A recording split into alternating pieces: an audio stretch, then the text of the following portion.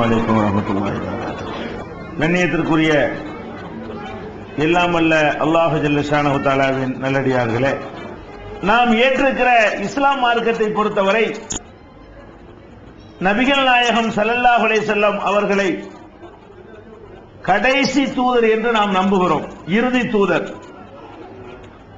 அவர்களுக்கு பின்னால் எந்த ஒரு இறை தூதரும் நபியும் ரசூலும் வரவே மாட்டார்கள் என்று நாம் நம்புகிறோம். நபிகள் நாயகம் ஸல்லல்லாஹு செல்லம் அவர்களுடைய காலத்திற்கு முன்னால் ஒரு இறை தூதர் தன்னுடைய பணியை முடித்துவிட்டு மரணித்து விட்டால் உடனே வேற ஒருவரை அல்லாஹ் தூதராக நியமித்து விடுவான். ஒரு இறை தூதருடைய தலைமையிலேயே அந்த சமுதாயம் நல்வழிப்படுத்தப்படும்.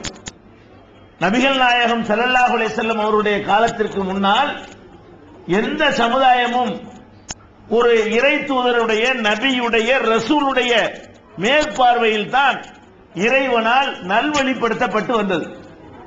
ஆனால் நபிகள் நாயகம் செல்லல்லாஹுலே செல்லும் அவர்களை அல்லாஹ் கடைசி நபி என்று அறிவித்து விட்ட காரணத்தினால் அவர்களுக்கு பிறகு எந்த தூதரும் இனி வரமாட்டார்கள் என்று அறிவித்துவிட்ட காரணத்தினால் நபிமார்கள் செய்ய வேண்டிய பணிகள் எல்லாம் நம் தலையில் தான் சுமத்தப்பட்டு இருக்கின்றன. இந்த அடிப்படையை நீங்கள் உங்களுடைய உள்ளத்திலே பதிய வைத்துக் கொள்ள வேண்டும். ஆயிரத்தி நானூறு ஆண்டுகளுக்கு முன்னால் நபிகள் நாயகம் ஸல்லல்லாஹு செல்லும் அவர்கள் இந்த உலகை விட்டு பிரிந்து விட்டார்கள். அவர்கள் செய்த அந்த பிரச்சாரம் அவர்கள் செய்த அந்த கொள்கை பிரகடனம் அவர்கள் செய்த சீர்திருத்தம் அவர்கள் பண்படுத்திய அந்த ஒழுக்க நெறிகள் இவற்றையெல்லாம் யார் மக்கள்கிட்ட கொண்டே சொல்றது? இன்னொரு தூதர் வருவாரா? வரமாட்டார். அப்ப நபிகள் நாயகம் சல்லல்லா அலை வஸல்லம் அவர்கள் இதனால் தான் கடைசி ஹஜ்ஜில் அவங்க ஒரு ஹஜ்ஜி தான் செஞ்சாங்க. இருந்தாலும் அதுக்கு பேர் கடைசி ஹஜ் அதான் முதல் ஹஜ் அதுதான். கடைசி ஹஜ் அதுதான். நபிகள் நாயகம் ஸல்லல்லாஹு செல்லும் அவர்கள் தம்முடைய கடைசி ஆண்டிலே செய்த இறுதி ஹஜ் என்று சொல்லக்கூடிய அந்த ஹஜ்ஜில ஒரு அற்புதமான உரை நிகழ்த்தினார்கள். அந்த உரையில இருபத்தி மூன்று ஆண்டுகள் அவர்கள் என்னவெல்லாம் சொன்னார்களோ அதையெல்லாம் சாறு பிழிந்து அந்த மக்கள் மத்தியில வைத்தார்கள். இருபத்தி மூணு ஆண்டுடைய மொத்த பிரச்சாரத்தையும் அதை சாறு பிழிந்து ரசமாக ஆக்கி அந்த உரையிலே குறிப்பிட்டார்கள். அதில் அவர்கள் முக்கியமாக சொன்னது என்ன? பள்ளி பள்ளி ஒரு காயும் முதல்ல என்ன பண்றாங்கன்னு கேட்டா மக்கள்கிட்ட எல்லாம் கேட்கிறாங்க அல்லாஹ் என்னை தூதராக அனுப்பினானே என் மூலமாக நேர்வழியை தந்தானே அதையெல்லாம் நான் உங்களுக்கு முழுசா சொல்லிட்டேனா? லட்சோப லட்சம் மக்களை கூட்டி வைத்துக் கொண்டு கேட்டார்கள் அலா ஹல் பல்லவ்து நான் முழுமையாக உங்களுக்கு எடுத்து சொல்லிவிட்டேனா? கூடியிருந்த மக்கள் எல்லாம் சொன்னார்கள் ஆமா அல்லாவுடைய தூதரே எல்லாத்தையும் சொல்லிட்டீங்களே அல்லாஹ் உங்களுக்கு எதையெல்லாம் தந்தானோ அனைத்தையும் எங்களுக்கு சொல்லிவிட்டீர்கள். ஒன்ன கூட நீங்கள் மறைக்கல மாத்தல கூட்டல குறைக்கல அப்படியே எங்கள்கிட்ட சொல்லிவிட்டீர்கள் என்று நான் நபி தோழர்கள் எல்லாம் அதுக்கு சாட்சி பகர்ந்தார்கள். திருப்பி கேட்கிறாங்க அலா ஹல் பல்லவத்து நான் சொல்லிவிட்டேனா? மறுபடியும் மக்கள் ஆமா என்று சொல்கிறார்கள். திரும்பவும் கேட்கிறார்கள். கேட்டுவிட்டு சொன்னார்கள் அல்லாஹு மஷாத் இறைவா இதுக்கு நீ சாட்சி. நீ எந்த மார்க்கத்தை எனக்கு தந்தாயோ அதை அப்படியே நான் மக்களிடத்தில் சொல்லிவிட்டேன் என்பதற்கு இதோ சம்பந்தப்பட்ட மக்களை சாட்சி சொல்லிவிட்டார்கள். இதுக்கு நீ சாட்சியாக இருந்து கொள் என்று சொல்லிவிட்டு நம்மை பார்த்து மக்களை பார்த்து தோழர்களை பார்த்து சொன்னார்கள். "ஃபல்யுபல்லிகு காயிப்." இங்கே வந்திருக்கக்கூடியவர்கள் வராதவர்களுக்கு என் செய்தி எடுத்துச் செல்லுங்கள். ஒப்படைக்கிறாங்க பொறுப்பை. மரணம் வரப்போகிறது. நம்முடைய வாழ்க்கை முடிய போகிறது. இதான் கடைசி ஹஜ்ஜி. இது மாதிரியான ஒரு மக்கள் திரளை இனிமேல் நம்ம பார்க்க மாட்டோம். இவ்வளவு மக்களை ஒரு கூட்டத்தில் ஒரு நேரத்தில் இப்பதான் நம்ம பார்க்கிறோம் என்ற அடிப்படையில் அந்த மக்கள்கிட்ட ஒப்படைக்கிறாங்க. எப்படி? ஃபல்யுபல்லிகு ஷாஹிதுல் காயும் வந்திருக்கக்கூடியவர்கள் வராதவங்களுக்கு போய் சொல்லுங்கள்.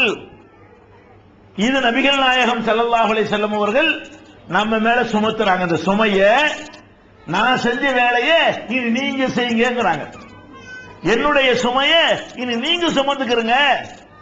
அதன் அடிப்படையிலே தான் நபிகள் நாயகம் சல்லல்லாஹுலை செல்லும் அவர்கள் மரணித்த உடனேயே அவர்களிடத்திலே பாடம் கற்ற சகாபாக்கள் அவர்களால் பயிற்றுவிக்கப்பட்ட தயார்படுத்தப்பட்ட தோழர்கள் எல்லாம் உலகத்தின் பல பகுதிகளுக்கும் சென்றார்கள். மொழி தெரியாது. அங்கெல்லாம் போனார்கள். தட்பவெட்பம் ஒத்துக்கொள்ளாது. அங்கெல்லாம் போனார்கள். எந்த விதமான சொந்தமோ ஒரு சுற்றமோ நட்போ ஒண்ணுமே கிடையாது. அங்கெல்லாம் போனார்கள். எந்த விதமான பயண வசதியும் கிடையாது. நடந்தே போனார்கள். ஒட்டகத்திலே போனார்கள். இப்படி நபிகள் நாயகம் சல்லல்லாஹுலே செல்லம் அவர்கள் சுமத்திய அந்த பொறுப்பை சுமந்து கொண்டு உலகின் பல பாகங்களுக்கும் சென்று மக்கள் மத்தியிலே இஸ்லாத்தை எடுத்து வைத்தார்கள். சொன்னார்கள். அதனாலதான் நம்மெல்லாம் இங்க முஸ்லீமா வாழ்ந்து கொண்டிருக்கிறோம். எதனால வாழ்ந்து கொண்டிருக்கிறோம்? நபிகள் நாயகம் ஆற்காட்டுக்கு வந்தாங்க. நபிகள் நாயகம் சல்லல்லா அலிஸ்லாம் வேலூர் மாவட்டத்துக்கு வந்தாங்களா? ஆனா இஸ்லாம் வந்துருச்சு. எப்படி வந்தது? யார் கொண்டு வந்து இந்த மார்க்கத்தை சேர்த்தார்? நபிகள் நாயகம் ஸல்லல்லாஹு அலைஹி செல்லும் அவர்கள் மக்கள்கிட்ட ஒப்படைச்சாங்க. அந்த மக்கள் சுமந்து வந்தார்கள் வியாபாரிகளாக வந்தார்கள். தொழில் அதிபர்களாக வந்தார்கள். அந்த வியாபாரத்திலே நேர்மையை கடைபிடித்துக் கொண்டே மார்க்கத்தை சொன்னார்கள். பிற சமுதாய மக்களுக்கு எடுத்து சொன்னார்கள். இங்க வந்திருக்கிற நீங்க எல்லாரும் என்ன அரபு நாட்டு இறக்குமதியா? இங்க இருக்கிறீங்க எல்லாரும்? சவுதி அரேபியாவோட இறக்குமதியா எல்லாரும்? இல்ல. அல்லது நீங்கள் எல்லாம் நபிகள் நாயத்துடைய வாரிசுகளா? இல்ல. அல்லது அபுபக்கர் உமருடைய பரம்பரையா நீங்க? அதெல்லாம் ஒண்ணும் கிடையாது. எல்லாம் நீங்க ராமசாமி கந்தசாமி தான். ஒரு முன்னூறு ஆண்டுகளுக்கு முன்னால் ஒரு நானூறு ஆண்டுகளுக்கு முன்னால் எடுத்து பார்த்தால் நம்ம எல்லாம் யாரு? இன்றைக்கு முஸ்லிம்களாக வாழ்றோம். நம்ம முப்பாட்டனோ அல்லது நாலாவது பாட்டனோ அஞ்சாவது பாட்டனோ யாரு? ஒரு ராமசாமியாவோ கந்தசாமியாவோ செட்டியாராவோ முதலியாராவோ ஐயராகவோ தலித்தாகவோ தேவராகவோ இன்ன பிற சமுதாயத்தை சேர்ந்தவர்களாக வன்னியராகவோ தானே இருந்தாங்க? இப்படி பல்வேறு சமுதாயங்கள்ல இருந்த நம்முடைய அப்பன் பாட்டன்மார்கள் நம்முடைய முப்பாட்டன்மார்கள் அந்த தோழர்கள் போட்ட விதை இருக்கிறது இஸ்லாம் என்ற விதை. அந்த விதையின் மூலமாக ஈர்க்கப்பட்டு இந்த மார்க்கத்தை ஏற்றுக்கொண்டார்கள். இந்த மார்க்கத்தை தழுவி கொண்டார்கள். இஸ்லாத்துக்கு மட்டும்தான் தழுவுறதுங்கிற பேரை வச்சிருக்கிறோம். தழுவுறதுனா என்ன? ஒருத்தன் வந்து ரொம்ப விரும்பக்கூடிய மனைவியை தழுவுவது போல கணவனை தழுவுவது போல அப்படி விரும்பி ஏத்துக்கிட்டவன். அதான் தழுவுறதுன்னு பேரு. கட்டி தழுவுறதுன்னு சொல்றோம்ல. இஸ்லாத்தை ஏத்துக்கிறதுக்கு தமிழ்ல என்ன வார்த்தை சொல்லுவோம்? அவர் இஸ்லாத்தை தழுவினார். தழுவினார்னால என்ன அர்த்தம்? அப்படி விரும்பி ஆசைப்பட்டு இதை விடக்கூடாதுன்னு சொல்லி அப்படி ஏத்துக்கொண்டார்கள் நம்முடைய அப்பன் பாட்டன்மார்கள். இப்ப நம்ம கேட்கிறோம் இப்ப நம்ம ராமசாமி கந்தசாமியாக இருந்த உங்க பாட்டன்மார்களுக்கு இஸ்லாம் கிடைத்து அதனால உங்களுக்கும் கிடைச்சிருச்சே. இப்ப இருக்கிற ராமசாமிக்கு நீங்க சொன்னீங்களா? இதான் கேள்வி. இப்ப இருக்கிற கந்தசாமிக்கு இஸ்லாத்தை எடுத்து சென்றீர்களா? இப்ப இருக்கக்கூடிய செட்டியார்களுக்கும் முதலியார்களுக்கும் தேவர்மார்களுக்கும் வன்னியர்களுக்கும் இந்த மார்க்கம் என்றால் என்ன என்று நீங்கள் சொன்னீர்களா? ஒரு வெற்றிடம் ஏற்பட்டதா இல்லையா? நூறு ஆண்டாக சொன்னீர்களா? ஒரு இருநூறு ஆண்டுகளாக சொன்னீர்களா? முன்னூறு ஆண்டுகளுக்கு முன்னால் நடந்து வந்த அந்த ஏகத்துவ பிரச்சாரம் பிற சமுதாய மக்களுக்கும் இந்த மார்க்கத்தை நபிகள் நாயகன முஸ்லிம்கள் இஸ்லாத்தை சொன்னாங்க. ஃபர்ஸ்ட் யாருக்கு சொன்னாங்க? சொன்ன பிறகு முஸ்லிம் ஆனாங்க. நபிகள் நாயகம் சல்லல்லா அலி செல்லம் அவர்கள் இந்த மார்க்கத்தை முஸ்லிம் அல்லாத மக்களுக்கு சொல்லி முஸ்லிம் ஆக்கினார்கள். எல்லா சகாபாக்களும் யார்? முஸ்லிம் அல்லாதவர்கள். அப்ப இஸ்லாத்திற்கு வெளியே இருக்கிற மக்களை அந்த சரியான மார்க்கத்தை சொல்லிதானே ரசூல் ஸல்லல்லாஹு ஈர்த்தார்கள் ஏன் அப்படி நீங்கள் செய்யவில்லை? இந்த நூற்றாண்டில் செய்தீர்களா? சென்ற நூற்றாண்டிலே அதற்கு முந்தைய நூற்றாண்டிலே ஒரு வெற்றிடம் ஏற்பட்டது. இந்த வெற்றிடத்தை பூர்த்தி செய்வதுதான் எங்கள் ஜமாத்தினுடைய முதலாவது நிலை. நாங்கள் என்ன செய்கிறோம் என்று சொன்னால் நாங்கள் முதல் இலக்காக இந்த ஜமாத்து கையில் எடுத்திருக்கிறது நம்மோடு வாழக்கூடிய பிற மதத்து சகோதரர்கள் இஸ்லாம் என்றால் என்னவென்று தெரியாமல் இருக்கிறார்கள். குரானை நமக்கு மட்டுமே மூடி பொத்தி வைத்துக் கொண்டோம். அது அனைவருக்கும் பொதுவானது. புதல் இன்னாஸ் மனித குலத்துக்கு நேர்வழி காட்டும் முஸ்லீமும் காட்டும் என்று அல்லாஹ் சொல்லவில்லை. யாருக்கு நேர்வழிக்கிறான் மனித குலத்துக்கு நேர்வழி காட்டும். எவன் படிச்சாலும் அது நல்லவனாக மாறுவான். அப்படிப்பட்ட ஒரு வேதத்தை அல்லாஹ் தந்திருக்கிறானே அதை ஏன் உங்களுக்கு மட்டுமே வைத்துக் கொண்டீர்கள்? ஏன் மற்றவங்களுக்கு கொடுக்கல? இன்னும் சொல்ல போனா கொடுக்கிறதுக்குரிய ஒரு முன்னேற்பாடாவது செய்யப்பட்டுச்சா? குரான் வந்து அரபு மொழியில் இருக்கிறது. அரபு மொழியை தாய்மொழியாக கொண்டவர்களுக்கு அது விளங்கும். உங்களுடைய தாய்மொழி அரபியா? இல்ல. அப்ப உங்களுடைய தாய்மொழி தமிழாக இருக்கும் இல்லைன்னா உருதாக இருக்கும். உங்களுடைய உருது மொழி பேசுகிறவருக்கும் குரானை வாசித்து அர்த்தம் சொல்ல தெரியாது. புரிந்து கொள்ள முடியாது. தமிழை தாய்மொழியாக கொண்டவருக்கும் குரானை படித்து அர்த்தம் செய்ய முடியாது. அப்ப என்ன செஞ்சிருக்கணும்? அன்னைக்கு இருந்த மார்க் அறிஞர்கள் அல்லாஹ்வுடைய வேதம் குரானை உருது மொழியில மொழிபெயர்த்திருக்கணும்ல? தமிழ் மொழியில மொழிபெயர்த்திருக்கணும்ல? செஞ்சாங்களா? இன்னும் சொல்ல போனால் உருதுல மொழிபெயர்த்தால் கூட உங்களுக்கு தான் உதவும். முன்னூறு வருஷத்துக்கு முன்னாடி குரானுக்கு தமிழாக இருந்துச்சா? இல்ல. இருநூறு வருஷத்துக்கு முன்னாடி குரானுக்கு தமிழாக இருந்துச்சா? இல்ல குரான் இருந்தது. தமிழ் மொழியில மொழிபெயர்க்கப்பட்டு இருக்கவில்லை நூறாண்டுக்கு முன்னாடி குரானுடைய தமிழாக இருந்ததா? இல்ல. ஐம்பது ஆண்டுக்கு முன்னாடி தான் ஏதோ ஒருத்தர் அந்த காலத்துல கொச்சையான ஒரு தமிழ்ல ஒருத்தர் மொழியாக்கம் செய்யறார் அவருக்கும் காவிரி மதம் கொடுத்து விட்டாங்க. இன்னைக்கு முஸ்லீம் சொல்றீங்களே இருநூறு முந்நூறு வருஷத்துக்கு முன்னாடி உங்க அப்பா பாட்டன்மார்களுக்கு அன்னைக்கு இருந்தவங்க இஸ்லாத்தை கொடுக்காம இருந்தா நீங்கள யாரு? நீங்கள் இன்னைக்கு ராமசாமி கந்தசாமி தானே? அப்ப நமக்கு எப்படி அந்த இஸ்லாம் கிடைத்ததோ அதே மாதிரி மற்றவர்களுக்கு கிடைப்பதற்கு என்ன திட்டம்? ஏராளமான திட்டங்களை நாங்கள் வகுத்து செயல்படுகிறோம். எப்படி வகுத்து செயல்படுகிறோம்? கடந்த இருபத்தி ஆறு ஆண்டுகளிலே இஸ்லாம் ஒரு இனிய மார்க்கம் என்ற பெயரிலே. தமிழகத்தின் முக்கியமான நகரங்களில் எல்லாம் ஒரு நிகழ்ச்சி ஏற்பாடு செய்கிறோம். உங்கள் மாவட்டத்தில் கூட ஆம்பூரிலே இரண்டு முறை அந்த நிகழ்ச்சி. உங்களுக்கு அருகே உள்ள பெங்களூரில் கூட அந்த நிகழ்ச்சியை நடத்தி இருக்கிறோம் தமிழகத்திலே திருச்சி மதுரை புதுக்கோட்டை சென்னை என்று பெரிய பெரிய நகரங்கள் திருநெல்வேலி பெரிய பெரிய நகரங்கள் கன்னியாகுமரி. இப்படி பெரிய பெரிய நகரங்கள் எதையும் விடாமல் இஸ்லாம் ஒரு இனிய மார்க்கம் என்ற பெயரிலே நாங்கள் ஒரு நிகழ்ச்சி நடத்துகிறோம். அது என்ன நிகழ்ச்சி? அதனுடைய கதாநாயகர்கள் முஸ்லிம் அல்லாத நம்முடைய நண்பர்கள் தான் யாரை கூப்பிடுவோம் அதுக்கு? இஸ்லாம் இனிய மார்க்கம் என்ற அந்த நிகழ்ச்சிக்கு திருமணத்திற்கு பத்திரிகை வைத்து அழைப்போமே. அந்த மாதிரியாக கண்ணியத்தோடு கௌரவத்தோடு ஒவ்வொரு முஸ்லீம் அல்லாத நண்பரையும் தேடி சென்று நீங்க வாங்க. இஸ்லாத்தை பத்தி எந்த கேள்வினாலும் நீங்க கேளுங்க.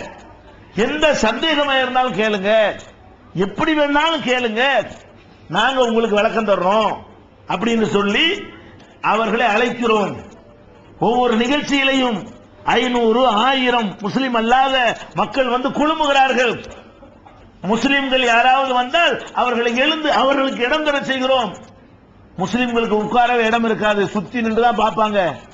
முஸ்லிம் அல்லாத அந்த விருந்தினர்களை வரவேற்று உபசரித்து எந்த கேள்வி வேண்டாலும் கேளுங்கள். இஸ்லாத்தினுடைய கொள்கையை கேட்கணுமா? கேளுங்க. கடவுளை பத்தி கேட்கணுமா? கேளுங்க.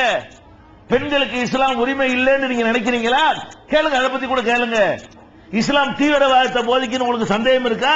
அதை கூட கேளுங்க. இந்த சமுதாயத்தை பார்த்து அவங்களுடைய நடவடிக்கை என்னால் நீங்கள் அதிருப்தி அடைந்திருக்கிறீர்களா அதை கூட கேளுங்க. என்று எந்த கேள்வி வேண்டுமானாலும் கேட்க செய்து அவர்களுடைய ஐயங்களை நீக்கி ஓ இப்படி ஒரு அழகான மார்க்கமா? நம்ம தப்பாவில் புரிஞ்சிட்டோம். அப்படின்னு சொல்லி அவங்க வாயினாலேயே சொல்ல வைத்து இஸ்லாம் ஒரு இனிய மார்க்கம் தான் என்று மன நிறைந்து திரும்பி போறார்களே.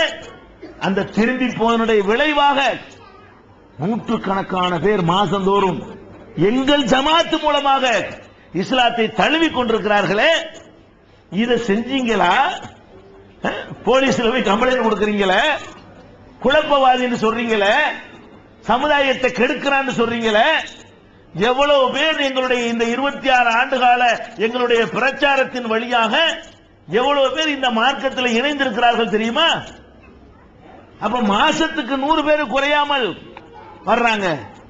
அதனால இப்ப என்ன பண்றோம்? இஸ்லாத்தை ஏற்றுக்கொண்ட மக்களுக்காகவே இரண்டு ஆண்களுக்கு இரண்டு தாவா சென்டர்களும் பெண்களுக்கு ஒரு தாவா சென்டரும் நாங்கள் நேரடியா எங்கள் கண்காணிப்பில் நடத்துகிறோம். இஸ்லாத்தை ஏற்றுக்கொண்ட ஒருவர் மூன்று மாதம் அங்கே தங்கி பயிற்சி பெறலாம். உணவு இலவசம் தேவையான நூல்கள் இலவசம் அவருக்கு சுண்ணத்து பண்ணுவது இலவசம் அவருக்கு பெயர் மாற்றம் செய்வது இலவசம் அபிடவிட் போடுவது அது இலவசம். அவர்கள் எந்த ஊர்ல வந்தார்களோ அந்த ஊருக்கு வந்துவிட்டு திரும்பி செல்வதற்கான போக்குவரத்து இலவசம் மருத்துவம் இலவசம். நான் கேட்கிறேன் பெரிய பெரிய கோடீசுவரர்கள் நிறைந்திருக்கிற இந்த மாவட்டத்தில் அத்தகைய சென்டர்கள் எத்தனை இருக்கிறது? கோடி கோடியாக பெரிய பெரிய தொழிற்பேட்டைகளை வைத்திருக்கிறீர்களே. அந்த பணத்தை எல்லாம் வைத்துக் கொண்டு எதுக்கு பயன்படுத்துறீங்க? ஊதாரித்தனமான கச்சேரிகளுக்கும் கூத்துகளுக்கும் கும்மாளங்களுக்கும் ஆடல் பாடலுக்கும் அனாச்சாரங்களுக்கும் பாழாக்கி கொண்டிருக்கிறீர்களே. ஐந்து பைசா பத்து பைசா என்று சமுதாயத்திலே பிச்சை வாங்கி நாங்கள் எவ்வளவு பெண்ண பெரிய காரியத்தை செய்து கொண்டிருக்கிறோம்? அப்ப நீங்கள் நினைத்து பார்க்க வேண்டும். இந்த நல்லிணக்கம் வேண்டும். இன்னும் சொல்லி வந்தவங்க அந்த சீட் ஒன்று கொடுத்தார் நோட்டீஸ். எவனோ ஒருத்தன் அங்க உள்ள முதலாளிகள் எல்லாம் கண்டிச்சு ஒரு நோட்டீஸ் ஒன்று போட்டிருக்கான் ஏன் போடுறான் ஏன் போடுறான் இங்க உள்ள தோல் ஷாப் முதலாளிகள்லாம் அநியாயம் பண்றாங்க இந்து மக்கள் கட்சியை நம்ம போட்டு அவன் நோட்டீஸ் விட்டுருக்கான் ஏன் நோட்டீஸ் விட்டுருக்கான் நீ அவனுக்கு இஸ்லாத்தை சொன்னா நோட்டீஸ் விடுவானா? நபிகள் நாயகம் ஸல்லல்லாஹு அலி செல்லத்தை கொல்லுவதற்கு அறுவாளை எடுத்துக்கிட்டு தானே ஒருத்தர் வந்தாரு. அவருக்கு இஸ்லாம் போனோம்னு ஏத்துக்கிட்டாரா இல்லையா? உமர் அலி இல்லாம அவர் யாரு? ரசூல்லாவை கொல்ல வந்த முதல் எதிரி தானுங்க. நபிகள் நாயகத்தை கொல்றதுக்கு தானே அவர் வந்தாரு. வந்தவருக்கு நபிகள் நாயகத்தை பார்த்தவன ஈர்த்து இஸ்லாத்துல வந்துட்டாரு. நம்மளை பார்த்தா கொல்லணும்னு குடும்பத்தை கொள்ளு நினைச்சிருவான் இப்ப வந்தான்னு வைங்களேன் நம்மளை கொள்ள வந்தா மொத்தத்தை கூண்டோட அறுத்துட்டு போடான்றான் நம்ம அப்படியா இருக்கிறோம்? அப்ப நம்முடைய பழக்கம் பண்பாடு அதுகள் எல்லாம் ஈர்க்கக்கூடிய வகையில் இருக்கிறதா? பாரபட்சம் இல்லாமல் நடக்கிறோமா? இன உணர்வு மாதிரி சாதி மாதிரி பிற சமுதாய மக்கள்கிட்ட சாதி இருக்குன்னா நீங்களும் அதுக்கு அடிமைப்பட்டவர்களை போல நடக்கிறீர்களா இல்லையா? நபிகள் நாயகம் சல்லல்லாஹுலை செல்லும் அவங்களுடைய காலத்துல அவங்க வாழ்ந்த காலத்துல பள்ளி வாசல்ல இருக்கிறாங்க. பள்ளி வாசலை கடந்து ஒரு ஜனாசா இறந்தவருடைய உடல் கொண்டு செல்லப்படுகிறது. பள்ளி வாசலை கடந்து. இன்னைக்கு பள்ளி வாசல் வழியா ஜனாசா போனா என்ன பண்ணுவீங்க? அப்படி இஸ்லாம் அவளுக்கு கொப்பளிக்குமே. பள்ளி பள்ளிவாசலுக்கு வராத நம்ம சகோதரர்களுக்கு இப்படி எவனாச்சும் ஒரு முஸ்லீம் அல்லாத ஒருத்தன் ஜனாசாவை பாடியை தூக்கிட்டு போனான்னு வைங்க. எந்த தெருவுக்குள்ள பள்ளிக்கு வருவியா? இஸ்லாம் இதான் இஸ்லாம் இவருக்கு. நம்மளுக்கு இஸ்லாம் என்ன? பள்ளிக்கு வந்து தொழு வர மாட்டான். பள்ளி வாசல் வழியாக ஒரு இறந்தவருடைய பாடியை கொண்டு போனா போது அன்னைக்கு ஆரம்பிச்சு கலவரத்தை ஆரம்பிச்சிருவாங்க யாரு? தண்ணி அடிக்கிறவன் பள்ளி வாசலுக்கு வராதவன். இவனெல்லாம் மார்க்கத்தை காப்பாது ஹேய், என்ன? அருவாங்க இப்படி தானப்ப நாசமாக்கிட்டு இருக்கிறீங்க?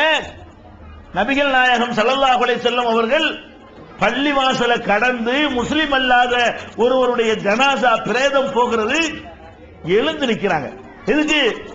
முஸ்லிம் அல்லாத ஒருவருடைய உடல் கொண்டு செல்லும் பொழுது பார்த்து எந்திரிச்சு நிக்கிறாங்க. கூட இருந்த தோழர்கள்லாம் சொல்றாங்க அது ஒரு எகூதி யூதருடைய பிரேதம். யூதருடைய ஜனாசா நம்மால் இல்லைங்கிறாங்க. நம்மால் கிடையாதவன். எதுக்கு எந்திரிக்கிறீங்க? நபிகள் நாயகம் ஸல்லல்லாஹு அலைஹி செல்லம் என்ன சொன்னாங்க? அட அது ஒரு மனுஷன் தானடா அப்ப ஒரு மனிதன் இறந்து விட்டால் அவனுடைய பாடி கொண்டு செல்லப்படுகிறது. அதை கூட கொண்டு போக கூடாது என்று மார்க்கம் அறியாத நம்முடைய மூடர்களுடைய நடவடிக்கை இருந்தா எப்படி இஸ்லாத்தை விரும்புவான்? எப்படி இஸ்லாத்தை ஒருத்தன் நேசிப்பான்? எப்படி இந்த கொள்கை அவனுக்கு பிடிக்கும்? ஒழிக்கும் தான் நினைப்பான். கொள்கையை ஒழிக்க நினைப்பான் நம்மளே ஒழிக்க நினைப்பான் அப்ப நம்முடைய நடத்தைகளால் தானங்க வெல்லனு?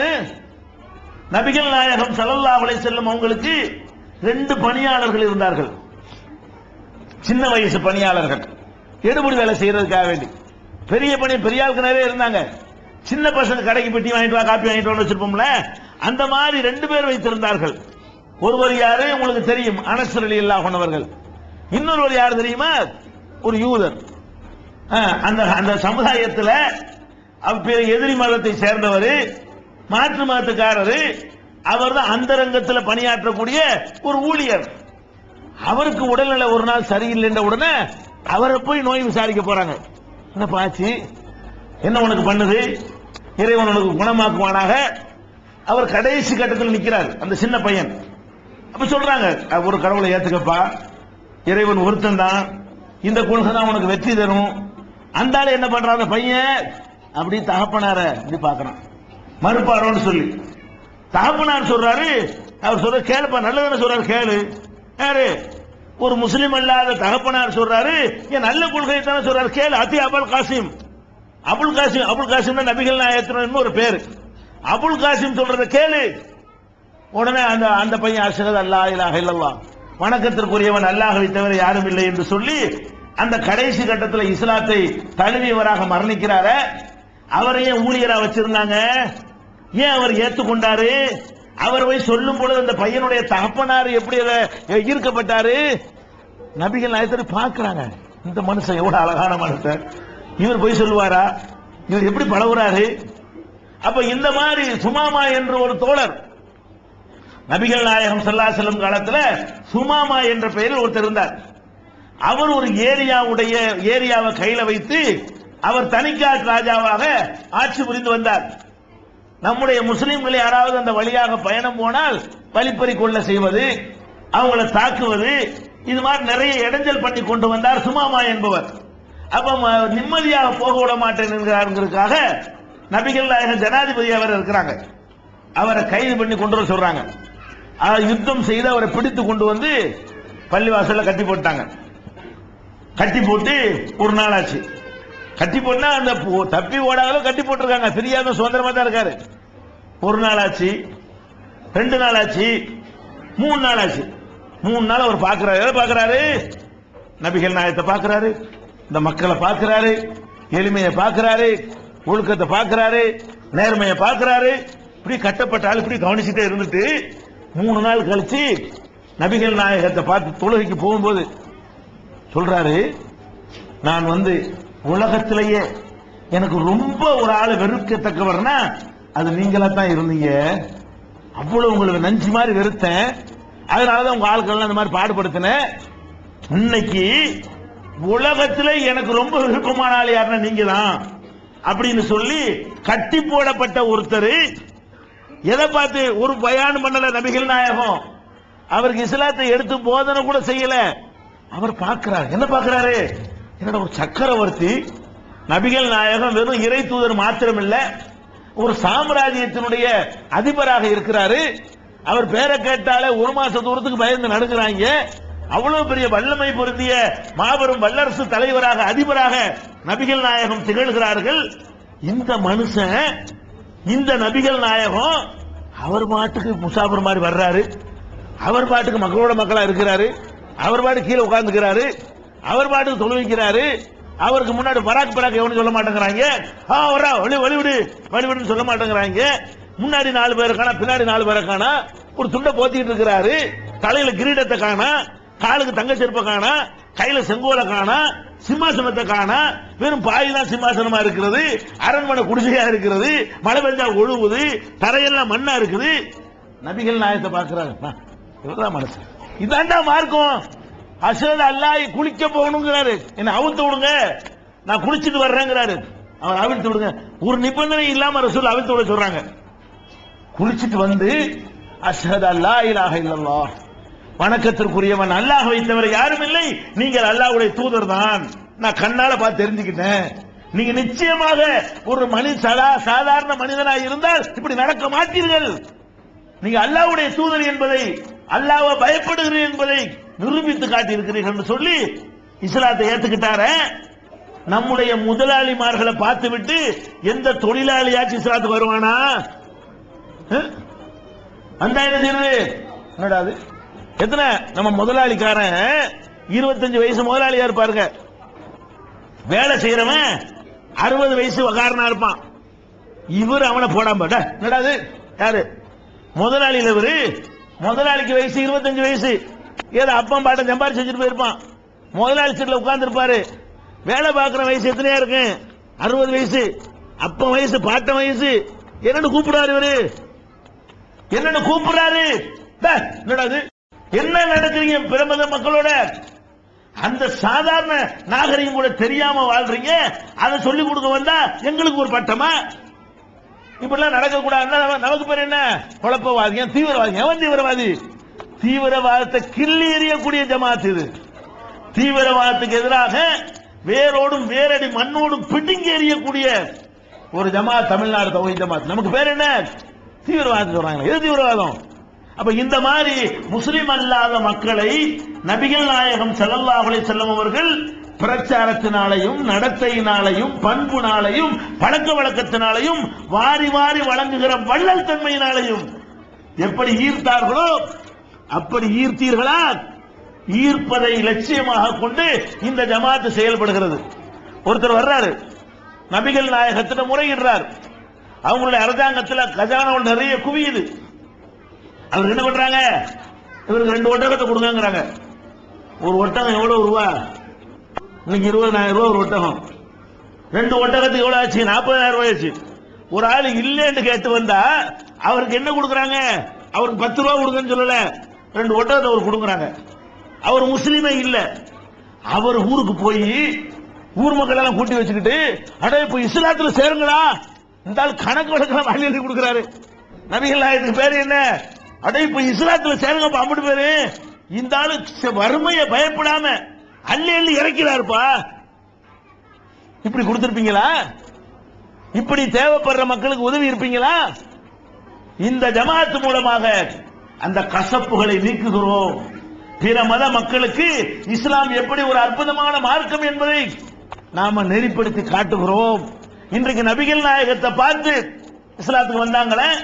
இன்னைக்கு நம்ம மத குருமார்களை பார்த்து இஸ்லாத்துக்கு வேணா வருவானா? நம்ம மத குருமார்கள் இருக்காங்களே மௌலானாக்கள் செய்துமார்கள் பெரியார்கள் இருக்காங்களே அதிர்த்துமார்கள்? இவளை பார்த்தா ஒரு இஸ்லாத்துக்கு வருவானா? அவன் பார்ப்பான் என்னடா இது பண்டாரம் ப- சந்நிதிகள்லாம் பரவாயில்லையே. அவங்களெல்லாம் மிஞ்சிற மாதிரி இருந்த ஆளுங்க இருக்கிறாங்க. சா- சாதாரணமா பழக மாட்டேங்கிறாங்களே. இவங்களுக்கு தனியா ட்ரெஸ் போட்டுக்கிறாங்க. ஏழு முழத்துக்கு தலையில சுத்திக்கிறாங்க. என்னமோ தெய்வ பிறவி மாதிரி தங்களை காட்டிக்கிறாங்க. அவங்க உடை தனியா இருக்கவங்களுக்கு நட தனியா இருக்கிறது. யாரோடையும் பேச மாட்டேங்கிறாங்க. இப்படி தனி தோற்றத்துல தங்களை காட்டி கொண்டிருக்கிறாங்களே. காலில் உழவு சொல்றாங்க. இப்படி ஆசி வழங்குறாங்க. நூலை முடிஞ்சு கொடுக்குறாங்க. தாயத்தை எழுதி கொடுத்து சம்பாதிக்கிறாங்க. மக்களை ஏமாத்துறாங்க ஃப்ராடு பண்றாங்க. இவங்க எல்லாம் அப்படின்னு நினைக்குவானா? நபிகள் நாயகத்தை பார்த்துட்டு சும்மாவா வந்தார அந்த மாதிரி வர்ற மாதிரி நினைக்குவானா? எப்படி நினைப்பான்? யார பார்த்து இஸ்லாத்துக்கு வர்ற மாதிரி இருக்குது? உங்கள்ட்ட எவனாவது கடனை கடனை கொடுத்து விட்டு இஸ்லாத்துக்கு வர இயலுமா? நம்மளுக்கு என்ன பேர் வாங்கியிருக்கிறோம்? ஏய் பாய்மாரு கடன் கொடுக்காதே. ம், நம்ம எப்படி பேர் வாங்கியிருக்கிறோம்?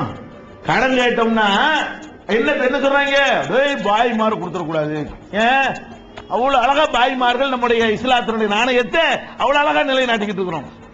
இதையெல்லாம் நம்ம மக்களுக்கு சொல்கிறோம். நீங்கள் வாங்கிய கடனை ஒழுங்கா கொடுக்கலன்னா உங்களை டேமேஜ் பண்ணல. நீங்க ஏற்றிருக்கிற வாழ்க்கை நெறியை டேமேஜ் பண்ணுகிறீர்கள். இஸ்லாத்தை கேவலப்படுத்துகிறீர்கள். இஸ்லாத்தை பற்றி கசப்பான தப்பான எண்ணத்தை அவன் உள்ளத்தில் விதைக்கிறீர்கள். அப்படி வாங்கிய கடனை தூக்கி மூஞ்சில எரிஞ்சு சொன்ன டயத்துக்கு கொடுத்திருந்தா என்ன மார்க்கம்டா முஸ்லீம்னா எப்படி இருக்காங்க பத்தியா இது வேணும்னு ஆசைப்படுவான். எதை பார்த்து வருவான்? எல்லாமே தலைகீழாக்கி வச்சிருக்கிறோமே. இதை மாற்றுவதற்காகத்தான் இந்த ஜமாத்து பல்வேறு பணிகளை செய்கிறது. அதே போல இப்படி எடுத்து சொல்ற விஷயம் நடக்கிறதா? துண்டு பிரசுரங்கள் போடுகிறோம். அதன் வழியாக அந்த மக்களுக்கு இஸ்லாத்தை சொல்கிறோம். சீடுகள் போடுகிறோம். தொலைக்காட்சி வழியாக ஒன்னு ரெண்டு தொலைக்காட்சி இல்லை. இப்படி வருகிற டிவிகளில் எல்லாம் நிகழ்ச்சிகளை போட்டு முஸ்லிம் அல்லாத மக்கள் இஸ்லாத்தை அறிந்து கொள்வதற்கு ஏற்ற வாய்ப்புகள். இப்ப என்ன பண்றோம்? இமயம் என்ற ஒரு தொலைக்காட்சியிலையும் தினசரி நிகழ்ச்சி இருக்கிறது. அரபு நாடுகளையும் ஒருங்கிணைக்கிற வகை அங்கெல்லாம் அற்புதமாக தெரியக்கூடிய ஒரு சேனல் மூலமாக மக்களுக்கு நிகழ்ச்சிகளை மார்க்கத்தை கொண்டு செல்கிறோம். அதை பார்த்துவிட்டு எத்தனை சகோதரர்கள் முஸ்லிம் அல்லாத ஒரு சகோதரர் ஒரு லட்சம் ரூபாய் அனுப்பி வைக்கிறார். இந்த நிகழ்ச்சியை நாங்கள் பார்த்தோம். நாங்கள் வழிகேட்டிருந்து நேர் வழிபட்டோம். அதுக்கு இது காரணமா இருக்கிறது. இது போன்ற பிரச்சாரத்திற்கு பயன்படுத்திக் கொள்ளுங்கள் என்று முஸ்லிம் அல்லாத மக்களே அதை பாராட்டுகிற அளவுக்கு ஈர்க்கிற அளவுக்கு இப்படி பல முனைகளிலே அந்த மக்களுக்கான பணிகளை செய்து வருகிறோம். இந்த சுனாமி. சுனாமி ஏற்பட்டு ஜாபம் இருக்குதா? உங்களுக்கு எல்லாம் பாதிப்பு ஏற்படல. ஏன்? உங்கள் மாவட்டத்தை சேர்ந்தவர்கள் கூட. நரியம்பட்டாது நரியம்பட்டை சேர்ந்தவர்கள் கூட நாகூருக்கு ஏதோ போய் அங்க போய் அவங்க ஆட்கள்லாம் இழந்து விட்டு வந்துட்டாங்க. எவ்வளவு கொடுத்தோம்? அறுபதாயிரம் ரூபாய் கொடுத்தோம் இங்க கூட. ஆனால் நேரடியாக பாதிக்கப்பட்ட அந்த பகுதியில் எவ்வளவு கொடுத்தோம் தெரியுமா? இரண்டு கோடி ரூபாய்.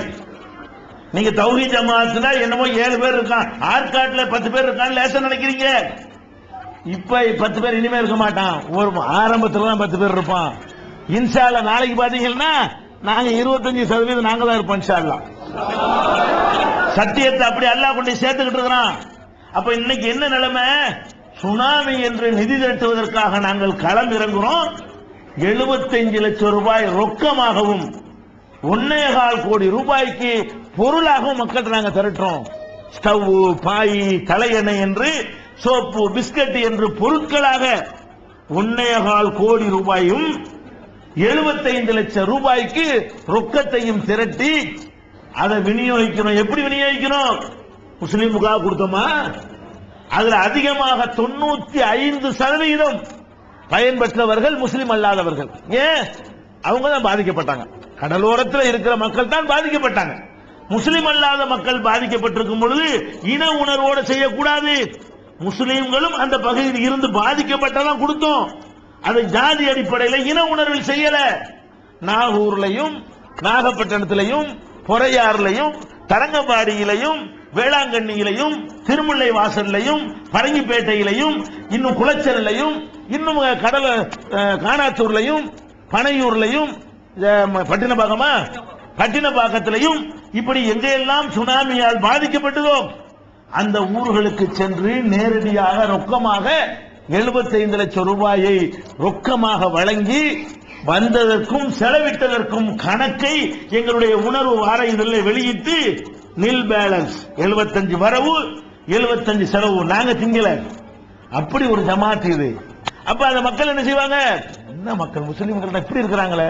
இவ்வளவு நல்ல மக்களா? இவங்களே நம்ம தப்பா நினைச்சோம். அப்படிங்கிற ஒரு பேரை அந்த மக்களுடைய உள்ளத்தில் நீங்கள் விதைத்தால் தான் இஸ்லாத்தை காது கொடுத்து வாங்குவான் அதை செய்யறமா இல்லையா? அதனுடைய ஒரு பகுதி தானங்க ரத்த தானம்ங்கிறது. நம்ம கொடுக்குற ரத்தம் யாருக்கு போகும்? யார் மெஜாரிட்டி மக்களா இருக்கிறாங்களோ அவங்களுக்கு தான் மெஜாரிட்டியா போகும். மைனாரிட்டியா உள்ள மக்கள் அந்த மாதிரி நோயாளியிலையும் மைனாரிட்டியா தான் இருப்பாங்க. அப்ப நம்ம அப்படி கணக்கு பாக்குறோமா இந்த ஆற்காட்டில் கூட இன்னைக்கு ஐம்பதுக்கு மேற்பட்டவர்கள் ரத்த தானம். இப்படி ரத்த தானம் மூவாயிரம் பேர் நாலாயிரம் பேர் என்று ஆண்டுதோறும் ரத்த தானம் செய்து அதை பார்க்குறாங்க. இந்த ரத்தங்கள் யாருக்கு போகும்? நம்மளா வச்சு பாதுகாத்து வச்சுக்கிட்டு முஸ்லீமுக்காக கொடுத்துட்டு இருப்போம். ஆஸ்பத்திரிக்கு போயிடும் ஆஸ்பத்திரி நம்மளா நிர்வகிக்கிறோம். நம்ம நிர்வாகத்தில் இல்ல. நோயாளிகளுக்கு அது உதவும். முஸ்லீமுக்கும் உதவலாம். முஸ்லீம் அல்லாதவர்களுக்கு உதவலாம். முஸ்லீம் அல்லாதவங்களுக்கு தான் அதிகமா உதவும். ஏன் நம்ம சின்ன சமுதாயம் நம்ம பத்து சதவீதம் இருந்தா நோயாளிகளையும் பத்து சதவீதம் இருப்போம். தொண்ணூறு சதவீதம் உள்ள மக்கள் தான் தொண்ணூறு சதவீதம் நோயாளிகளா இருப்பாங்க. அப்ப யாருக்கு அதிகம்? அப்படிலாம் பார்க்குறோமா? இதையெல்லாம் பார்க்கிறார்கள். ஆஹா என்ன மக்கள் பார் இந்த ரத்தம் நம்மள கொடுக்கணும் இவங்க கொடுக்குறாங்களே. சின்ன சமுதாயமா இருந்து கொண்டு ரத்த தானம் செய்யறதுல முதலிடத்துல வந்து நிக்கிறாங்களே. என்று அப்ப தமிழ்நாடு தௌஹி ஜமாத் என்றால் நீங்கள் என்ன நினைக்கணும்? இஸ்லாத்தின் மீது உள்ள கசப்பை நீக்க வேண்டும். இஸ்லாம் சரியான மார்க்கம் என்று அந்த மக்கள் உள்ளத்திலே பதிய வைக்க வேண்டும். பிரச்சாரத்தின் மூலமாக மாத்திரமில்லாமல் நம்முடைய சமூக சேவைகள் மூலமாகவும் நம்முடைய நன்னடத்தைகள் மூலமாகவும் அவர்களுடைய உள்ளங்களை ஈர்க்க வேண்டும். அது செய்யறமா இல்லையா? இது தமிழ்நாடு தௌஹி ஜமாத்தினுடைய ஒரு கட்டம் ஒரு பணி. முஸ்லிம் அல்லாத மக்களுக்காக இஸ்லாத்தை சொல்லக்கூடிய பணி. இரண்டாவது பணி என்ன? இது ரசுல்லா நம்மள்ட்ட சுமத்தின பணி. நம்மள்ட்ட தலையில ரசுல்லா வந்து இனிமே சொல்ல மாட்டாங்க. ரசூல்லா காலத்துல முஸ்லீம் அல்லாத உங்களுக்கு இஸ்லாத்தை சொன்னாங்களே? அந்த மாதிரி இப்ப அவங்க சொல்ல நம்ம தான் சொல்லணும். இது ஒரு வேலை இரண்டாவது பணி என்ன? இந்த முஸ்லிம் சமுதாயத்தை பார்க்கிறோம். எப்படி இருக்கிறார்கள்? பெயர் தாங்கி முஸ்லிம்களாக இருக்கிறார்கள். இஸ்லாத்தினுடைய எந்த ஒரு நல்ல அம்சமும் காண முடியவில்லை. இன்னைக்கு முஸ்லீம் சொல்லக்கூடியவர்கள் அதிகமாக நீங்கள் பார்த்தால் அவங்கள்ட்ட இஸ்லாம்னு சொல்வதற்கு என்ன இருக்கும்னா அரபி மொழியில பேர் வைத்திருப்பார்கள். அது இஸ்லாம் இருக்கும். அவங்க விரும்பாத சின்ன வயசுலயே சுண்ணத்து பண்ணி விட்ட காரணத்தினால அது ஒண்ணு அவங்கள்ட்ட இருக்கு. அவன் சாய்ஸ்ல விட்டுருந்தாங்கன்னு வைங்க. அதையும் பண்ண மாட்டான். நீ இருபத்தஞ்சு வயசு போய் நீனே பண்ணிக்கன்னு விட்டுருந்தா அம்மாடி நான் மாட்டேன்ருவான். அரியா பருவத்துல பண்ணி விட்டுற காரணத்தினால இந்த சுண்ணத்து பண்ணி இருப்பான் ஆம்பளையா இருந்தா. அது ஒண்ணு இஸ்லாம் இருக்கும். பேர் ஒண்ணு இருக்கு. இந்த ஏதோ வெள்ளிக்கிழமை திங்கக்கிழமை பள்ளியாசல் வந்தா தொப்பி ஒண்ணு ஒதுக்கிடுவாங்க இதை தவிர என்ன இருக்கு இஸ்லாம் என்ன இருக்குங்கிற? கல்யாண இஸ்லாம் முறையில் இருக்குதா? கர்மாதி இஸ்லாம் முறையில் இருக்குதா? உன் வணக்கம் இஸ்லாம் முறையில் இருக்குதா? கொடுக்கல் வாங்கல் இஸ்லாம் முறையில் இருக்குதா? எல்லாமே இஸ்லாத்திற்கு சம்பந்தம் இல்லாம தலகளாக புரண்டு கிடக்கிற ஒரு பக்கம் பார்க்கிறோம். இதை யாரு திருத்துவது? திருத்துவதுன்னா சின்ன வேலை கிடையாதுங்க. சில பேர் திருத்துவாங்க எப்படி? நன்மையை ஏவி தீமையை தடுக்கிற ஒரு கூட்டம் இருக்கட்டும் பயான் பண்ணுவாங்க. பயான் பண்ணிட்டு தொழுவை கூப்பிடுவாங்க போய். வாங்க தொழுவ போவோம். ஒரு கூட்டம் இருக்கிறாங்க. உங்க தொழுவைக்கு தான் கூப்பிடுவாங்க. எது கூப்பிட மாட்டாங்க? தீமையை ஒழிக்க கூப்பிட மாட்டாங்க. நன்மையை ஏவுறது கூப்பிட்டு அடிக்க மாட்டாங்க. தீமையை ஒழிக்க கூப்பிட்டேன்னு வைங்களேன் பின்னி போடுவான் அதை செய்யாத. இதை செய்யாதன்னா என்ன கிடைக்கும்? அடி கிடைக்கும். அடி கிடைக்கிற இதுக்கு பேர் தபிலிக்கம் இதுக்கு பேர் என்னவா? தபிலிக்கு எடுத்து சொல்றாங்களா மார்க்கத்தை? இதான் எடுத்து சொல்றதா? வட்டி வாங்குற முஸ்லீம் போய் வட்டி வாங்காதன்னு சொல்ல உனக்கு திராணி இருக்குதா? அதுக்கு போய் அலட்சியா? வரதட்சணை வாங்குற கல்யாணத்துல நின்றுகிட்டு ஏன்டா வரதட்சணை வாங்குறீங்கன்னு கேட்டியா? அது நாங்க அது அது பா- தீமை போயிடும் நாங்க தொழிலுக்கு மட்டும் தான் கூப்பிடுவோம். இவர் எதுக்கு மட்டும் தான் கூப்பிடுவாரு? சினிமா கொட்டையில் நிக்கிறவன போய் இழுத்தியா?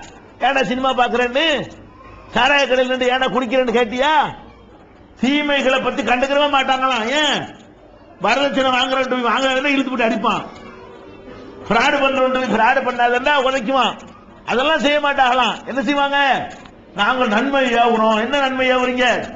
வாங்க தொழுகைக்கு வாங்க. இதான் நன்மை ஏவுறதா? அவ்வளவுதானா? இந்த ஒண்ணுதான் இஸ்லாத்துல. தொழுகைக்கு ஏவுங்க. அடைங்க. அது மட்டும்தான் இஸ்லாத்துல இருக்குது. அப்ப இஸ்லாம் என்று சொன்னால் எல்லா வகையிலையும் முஸ்லிம்கள் முஸ்லிம்களாக வாழ வேண்டும். ஃபர்ஸ்ட் என்ன? இந்த தொழுதாலும் யூஸ் இல்லா யூஸ்லெஸ்ஸா போகக்கூடிய சில காரியங்களை முஸ்லிம்கள் செய்யறாங்க அடிப்படை விஷயம் என்ன?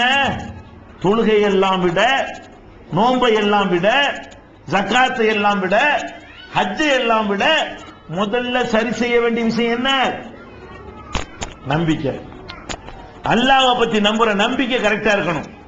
நம்பிக்கை தப்பா இருந்து தொழுதா தொழுகையை சுருத்தி மூஞ்சில எல்லாம் எரிஞ்சிருவான் நம்பிக்கை தப்பா இருந்து நோம்பு வச்சா நோம்பு சுருட்டி மூஞ்சில எரிஞ்சிருவான் நம்பிக்கை தப்பா இருந்து ஜக்காத்து கொடுத்தா அதுவும் மூஞ்சில எரிஞ்சிருவான் நன்மை கிடைக்காது. ஹஜ்ஜுக்கு போனா நன்மை கிடைக்காது. எப்ப கிடைக்கும்? அல்லாஹுவை நம்ப வேண்டிய விதத்தில் நீங்கள் நம்ப வேண்டும். லாயிலாக இல்லல்லாக என்று சொன்ன உறுதிமொழியில நீங்கள் உண்மையாளர்களாக உறுதியானவர்களாக இருக்க வேண்டும். வணக்கத்திற்கு உரியவன் அல்லாஹவை தவிர யாரும் இல்லைன்னு சொல்றமே. அதுல உறுதியாக இந்த சமுதாயம் இருக்குதா? அது இல்லாம அது அஸ்திவாரம். அஸ்திவாரம் இல்லாம குழி தோண்டாம அந்த பில்லர் எழுப்பாம கட்டுறது கட்டினா நிக்குமா? ஒரு காத்துக்கு தாங்குமா? ஒரு சிறு மழைக்கு அது நிக்குமா? கரைஞ்சி ஓடி போயிரும். ஒரு கட்டிடத்தை எழுப்புறதா இருந்தா அதுக்கு என்ன வேணும் ஃபர்ஸ்ட் வளமான அஸ்திவாரத்தின் மீது அது நிறுவப்படணும். எவ்வளவு உறுதியான பெரிய கட்டடம் கட்டுகிறீர்களோ அதுக்கு மாதிரி அஸ்திவாரம் அந்த அளவுக்கு ஸ்ட்ராங்காக வலிமையாக இருக்கணும். அப்ப நீங்க அஸ்திவாரம் என்ன? இதான் அஸ்திவாரம். இதயத்துல லாயிலாக இல்லல்லாக என்பது நம்புறோமே. சரியான முறையில் நம்புவதுதான் அஸ்திவாரம். அஸ்திவாரம் இல்லாதவர்களாக இன்றைக்கு முஸ்லிம்கள் வாழ்கிறார்களா இல்லையா? அல்லாவை தவிர வணங்கக்கூடாது யாரையும் வணங்கக்கூடாதுங்கிற ஒரு அடிப்படை இதுக்கு மாத்தமா? நம்மள மாதிரியான ஒரு மனிதன் இறந்து போன பிறகு அவனை கொண்டே அடக்கம் பண்ணி வைத்து அவனுக்கு மேல ஒரு சமாதியை கட்டி அதை கும்பிடுறாங்களா இல்லையா? பிரார்த்தனை செய்யறாங்களா இல்லையா? நெத்தியை கொண்டே நிலத்துல வைக்கிறாங்களா இல்லையா? தர்கா கட்டுறாங்களா இல்லையா? நேர்ச்சி செய்யறாங்களா இல்லையா? சுத்தி சுத்தி வள வர்றாங்களா இல்லையா? இந்த லாயிலாக இல்லலாக்கு என்னப்பா அர்த்தம்? வணக்கத்திற்குரியவன் அல்லாஹுவை தவிர யாரும் இல்லைங்கிறது தானே? யாரும் இல்லைன்னு சொல்லிட்டு இவரும் வணங்குறப்புறம் இவர் இருக்கிறா வணங்குறீங்க? இவர் யாரு? இந்த அடக்கம் பண்ணியிருக்கார சமாதியில நாகூர் தர்காவுல ஏர்வாடி தர்காவுல அது மாதிரி அஜ்மீர்ல? இங்க தர்காவுல இருக்கா? ஆற்காடுல இருக்கா? எத்தனை? நிறைய இருக்கான் பாருங்க. கணக்கு வழக்கு இல்லாம இருக்கா. இந்த கணக்கு வழக்கு இல்லாம இருக்கிற நான் நான் கேட்கிறேன். நான் கேட்கிறேன். இது ஒரு முஸ்லீம் வந்து இதை நம்பலாமா? யார் அவங்கெல்லாம் யார் அந்த தர்காவில் அடங்கி இருக்கிறாங்க யாரு? நல்லடியாரா? மகானா? யார் உனக்கு அப்படி சொன்னது? ஒரு ஆளை மகான் என்று முடிவு செய்யற அதிகாரம் முதல்ல உங்களுக்கு இருக்குதா? எதை வச்சு மகான் முடிவு பண்ணீங்க? எவனாச்சும் பணக்காரன் ஒருத்தன் அவன் அப்பனுக்கு பெருசா கட்டி வச்சுட்டு போயிட்டா மகான் ஆயிடுவான். அவ்வளவுதான். இதெல்லாம் எப்படி உண்டானது? எவனோ பணக்காரன். அதுல இங்க மன்னர்கள் ஆட்சி பண்ணாங்களா? முஸ்லிம் மன்னர்களுடைய பிரதிநிதிகள் நவாபுகள் ஆற்காடு நவாபுகள் ஆட்சி பண்ணாங்களா? இந்த நவாபுகள்லாம் யாரு? அங்க உள்ள மன்னர்களுடைய பிரதிநிதிகள். முகலாய மன்னர்கள் முஸ்லிம் மன்னர்கள் வடக்கு ஆட்சி புரிந்தார்களே அவங்களுடைய சார்பாக இங்க ஆட்சி புரிந்தவர்கள் யாரு? நவாபுகள். அதுல ஒரு பரிதாபகம் தெரியுமா? இந்த ஆற்காடுல வச்சுதான் முஸ்லிம் மன்னர்களுடைய தலைமையகமே ஆற்காடு நவாபுண்டா? அவ்வளவு ஃபேமஸ் அந்த ஆற்காட்டுல முஸ்லீம் எவ்வளவு இருக்கிறீங்க? எத்தனை பெர்சன்டேஜ் அவ்வளவுங்க? ஆற்காடுல ரெண்டு பெர்சன்ட் இருப்பீங்களா இதுதான். இவங்க பண்ண ஆட்சி லட்சணம் வழங்குதா? எண்ணூறு வருஷம் ஆட்சி புரிஞ்சிருக்கானுவ எண்ணூறு வருஷம் ஆட்சி புரிஞ்சும் கூட இந்த ஆற்காட்டுல லட்சணம் என்ன? அஞ்சு பர்சன்ட் இருக்கிறாங்க ஏன்? அந்த மாதிரி நடத்த அந்த மாதிரி அற்புதமா முஸ்லீமா வாழ்ந்திருக்கிறாங்க. அதை பார்த்துட்டு ஈர்க்கப்பட்டு எல்லாரும் வந்திருக்கிறாங்க. விளங்குதா அவங்களுக்கு விஷயம்? அப்ப அந்த மாதிரியான ஒரு அடிப்படையில இந்த நவாபுகள் இறந்துட்டாங்கன்னு சொன்னா ராஜ குடும்பத்தை சேர்ந்தவர்கள் இறந்துட்டாங்கன்னு சொன்னா பெருசு பெருசா கட்டடம் கட்டி வைப்பாங்க. அந்த வரலாறு இவனுக்கு தெரியாது. ஐம்பது வருஷத்துக்கு பிறகு அவுளியாண்டுவாங்க இதான் மேட்ரு அதுல அடங்கி இருக்கிற இந்த மகானா பெரிய அந்த மாதிரி நீங்க சொன்ன கணக்குல மகான்லாம் இருந்திருந்தா ஒட்டுமொத்த ஆற்காடு முஸ்லீமா இருந்திருப்பாங்க. அந்த சமாதி கணக்குல கூட நீ இல்ல இப்ப. ஆற்காடுல எத்தனை சமாதி கட்டி வச்சுக்கிறியோ அந்த கணக்குல தான் நீ முஸ்லீம் இருக்கிறேன்னு சொன்ன அது நான் மகான்களா?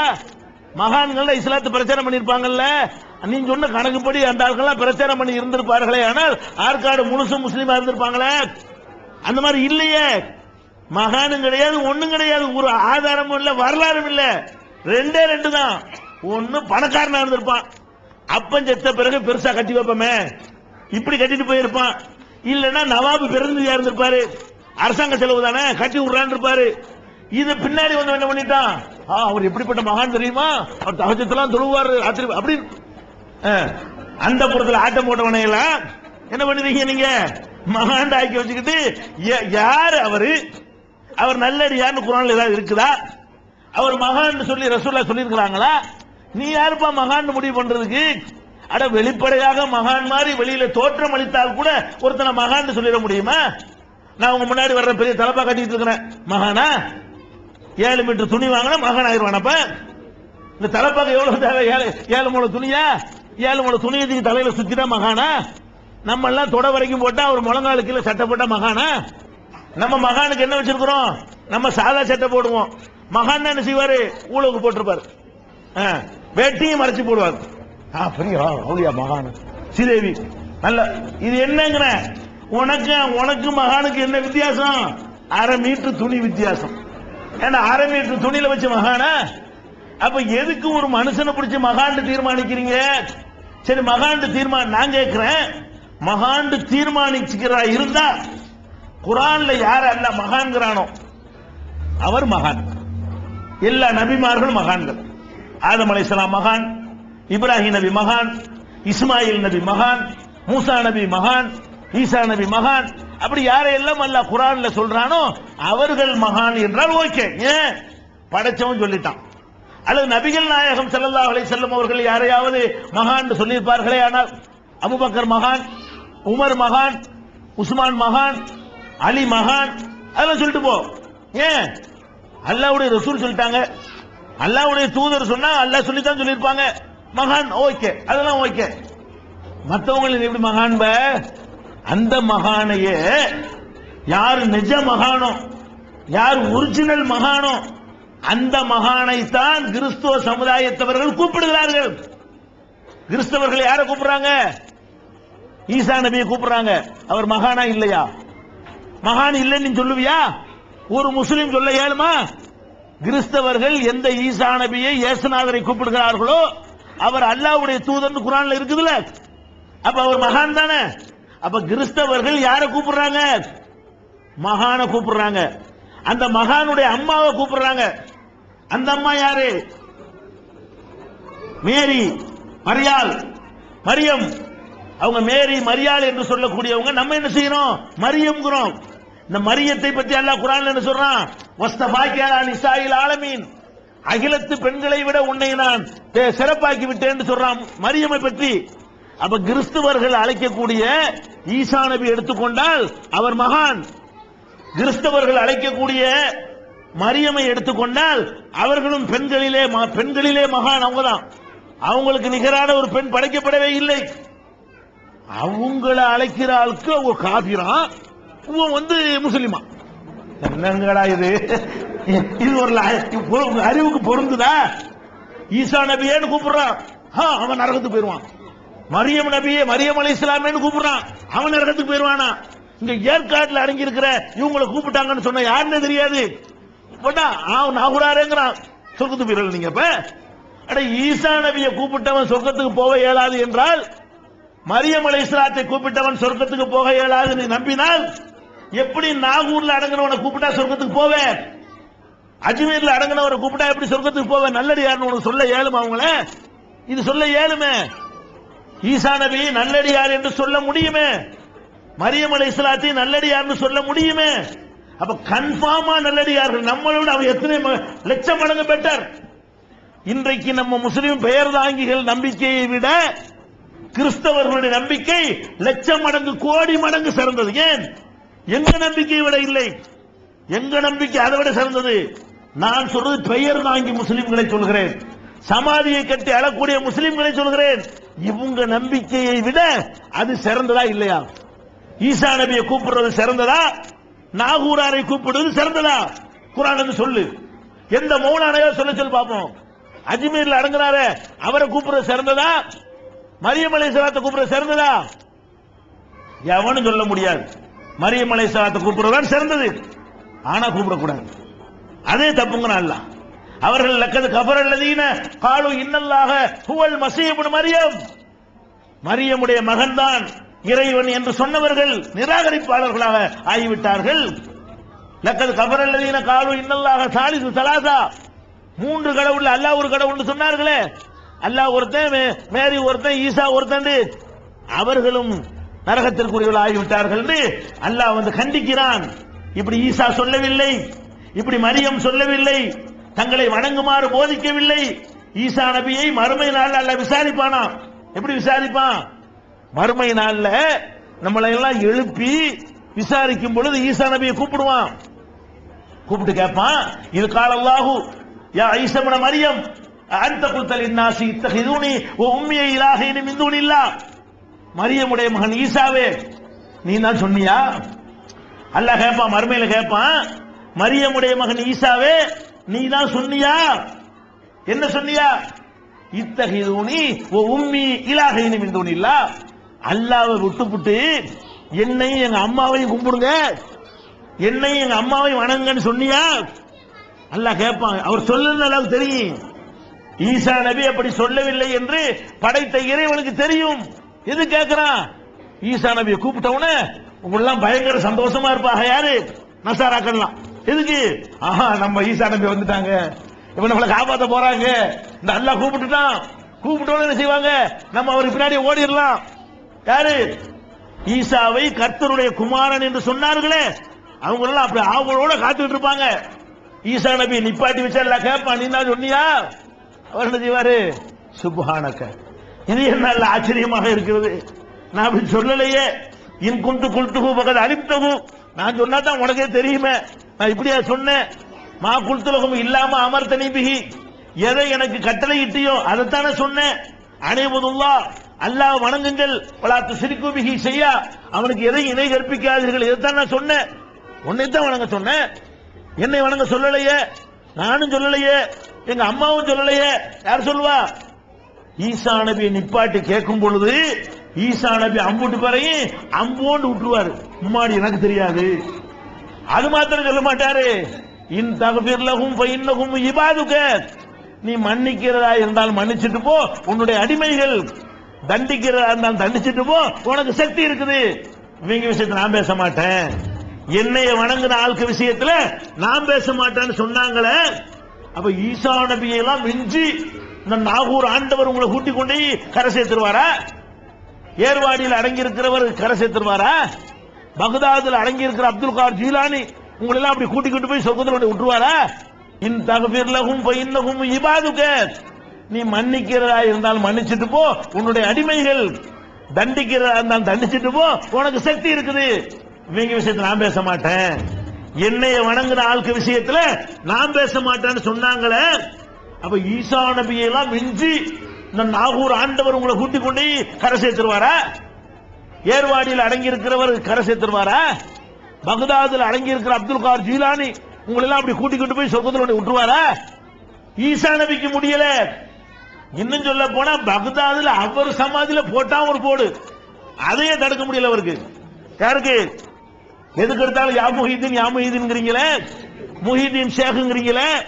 முஹீதீன் அப்துல் காஜிலானுங்கிறீங்களே அவர் அடங்கி இருக்கிற பகதாதுல அவருடைய கபர்ல பார்த்து ஜார்ஜ் புஷ் போய் போட்டான். தூள் தூளா செதர்னுச்சு அவர் ஒரு கட்- கட்டை விட்டு தடுக்க வேண்டியதானே அதை? உலகத்திலே ஒண்ணும் செய்ய முடியாது. மறுமையிலும் செய்ய முடியாது. அது நல்லா கொடுக்கவே இல்லை. உலகத்திலேயும் அவர்களால் இறந்து போனவர்களால் உங்களுக்கு உதவ இயலாது. மறுமையிலும் அவர்களால் உங்களை காப்பாற்ற இயலாது என்பதற்கு ஈசா நபி உதாரணம் இல்லையா? அல்லாஹ்வுடைய நபிமார்கள்லயே ரொம்ப சிறந்த நபி யாரு இப்ராஹிம் நபி. குரான புரட்டி பார்த்தோம்னு சொன்னா யாருக்கு ரொம்ப இடம் ஃபர்ஸ்ட் இடம் கொடுத்துருக்கான் இப்ராஹிம் நபி கொண்டு அப்படி வச்சிருக்கான். அவ்வளவு உயர்வான இடத்துல அல்லாஹ் வச்சிருக்கிறான். எந்த அளவுக்கு வச்சிருக்கிறான்? நபிகள் நாயகம் சல்லல்லா அலிசல்லம் அவர்களே இப்ராஹிம் நபி கிடைக்கிற அந்த அந்தஸ்தை பார்த்து ஆவல் கொள்கிற அளவுக்கு. நமக்கு சொல்லி தந்திருக்கிறாங்கல்ல தொழுகையில அத்தஹியாத்துல நபிகள் நாயகத்திற்காக ஒரு துவா செய்கிறோம் இது நபிகள் நாயகம் சொல்லி தந்த துவா சலவாத்தி என்ற பெயர்ல சொல்றோம் ஞாபகம் இருக்க தெரியுதா அத்தஹியாத்துல உட்கார்ந்து கொண்டு அதுல ஓதுறீங்களே அல்லாஹும்ம சல்லி அலா முஹம்மதின் وعلى آل محمد كما صليت على إبراهيم وعلى آل إبراهيم إنك حميد مجيد இதுக்கு என்ன அர்த்தம் இதை ஓதுமாறு நபிகள் நாயகம் சல்லல்லா அலைஹி செல்லும் அவர்கள் நமக்கு சொல்லி இருக்கிறாங்க இதுக்கு பொருள் என்ன? இறைவா சல்லி அலா முகமதின் முகம்மதுக்கு அருள் புரிவாயாக. வ அலா ஆலி முகமதின் முகமதுடைய குடும்பத்தாருக்கு அருள் புரிவாயாக. முகமதுனா முகமது நபி. நம்ம கேட்கிறோம் தொழுகையில அல்லாஹும இறைவா சல்லி அலா முகமதின் முகமது சல்லா அலை செல்லும் அவர்களுக்கு நீ அருள் புரிவாயாக. அலா ஆலி முகமதின் முகமது சல்லா அலி செல்லம் அவர்களுடைய குடும்பத்தாருக்கு அருள் புரிவாயாக? எந்த மாதிரி அருள் புரிவாயாக? கமா சொல்லைத்த அலா இப்ராஹிம். இப்ராஹிம் நபிக்கு நீ அருள் புரிஞ்சிருக்கிறிய. அந்த மாதிரி எங்க நபிக்கு அருள் புரிவாயாக? அப்ப யாருக்கு கூட செஞ்சிருக்கான் அருள்? யார் மாதிரி கேட்கிறோம் நம்ம? நம்மளே கேட்கிறோம் யாரெல்லாம் இப்ராஹிம் நபி கூட ரொம்ப செஞ்சுட்டிய. எங்க நபிக்கு அது மாதிரி பண்ணு. அப்படின்னு ரசூல்லா நம்மளை கேட்க சொல்றாங்கன்னா இவர் எங்க இருக்காரு இப்ராஹிம் நபி? இங்கேயும் இருக்கிறார். நபிகள் நாயகம் ஸல்லல்லாஹு அலைஹி சொன்னார்கள் கேமத்து நாளையில நம்ம எல்லாரும் எழுப்பப்படுவோம்ல? எல்லாம் நிர்வாணமா தான் எழுப்பப்படுவோம். நி- நியாய தீர்ப்பு நாள்ல நம்ம எழுப்பப்படும் போது எப்படி இருப்போம்? யாருக்கும் ஆடை இருக்காது. நிர்மாணமாகத்தான் எப்படி படைத்தோமோ அப்படித்தான் நீங்கள் வருவீர்கள். படைக்கும் ட்ரெஸ் போட்டா நம்ம பிறந்தோம்? இல்ல.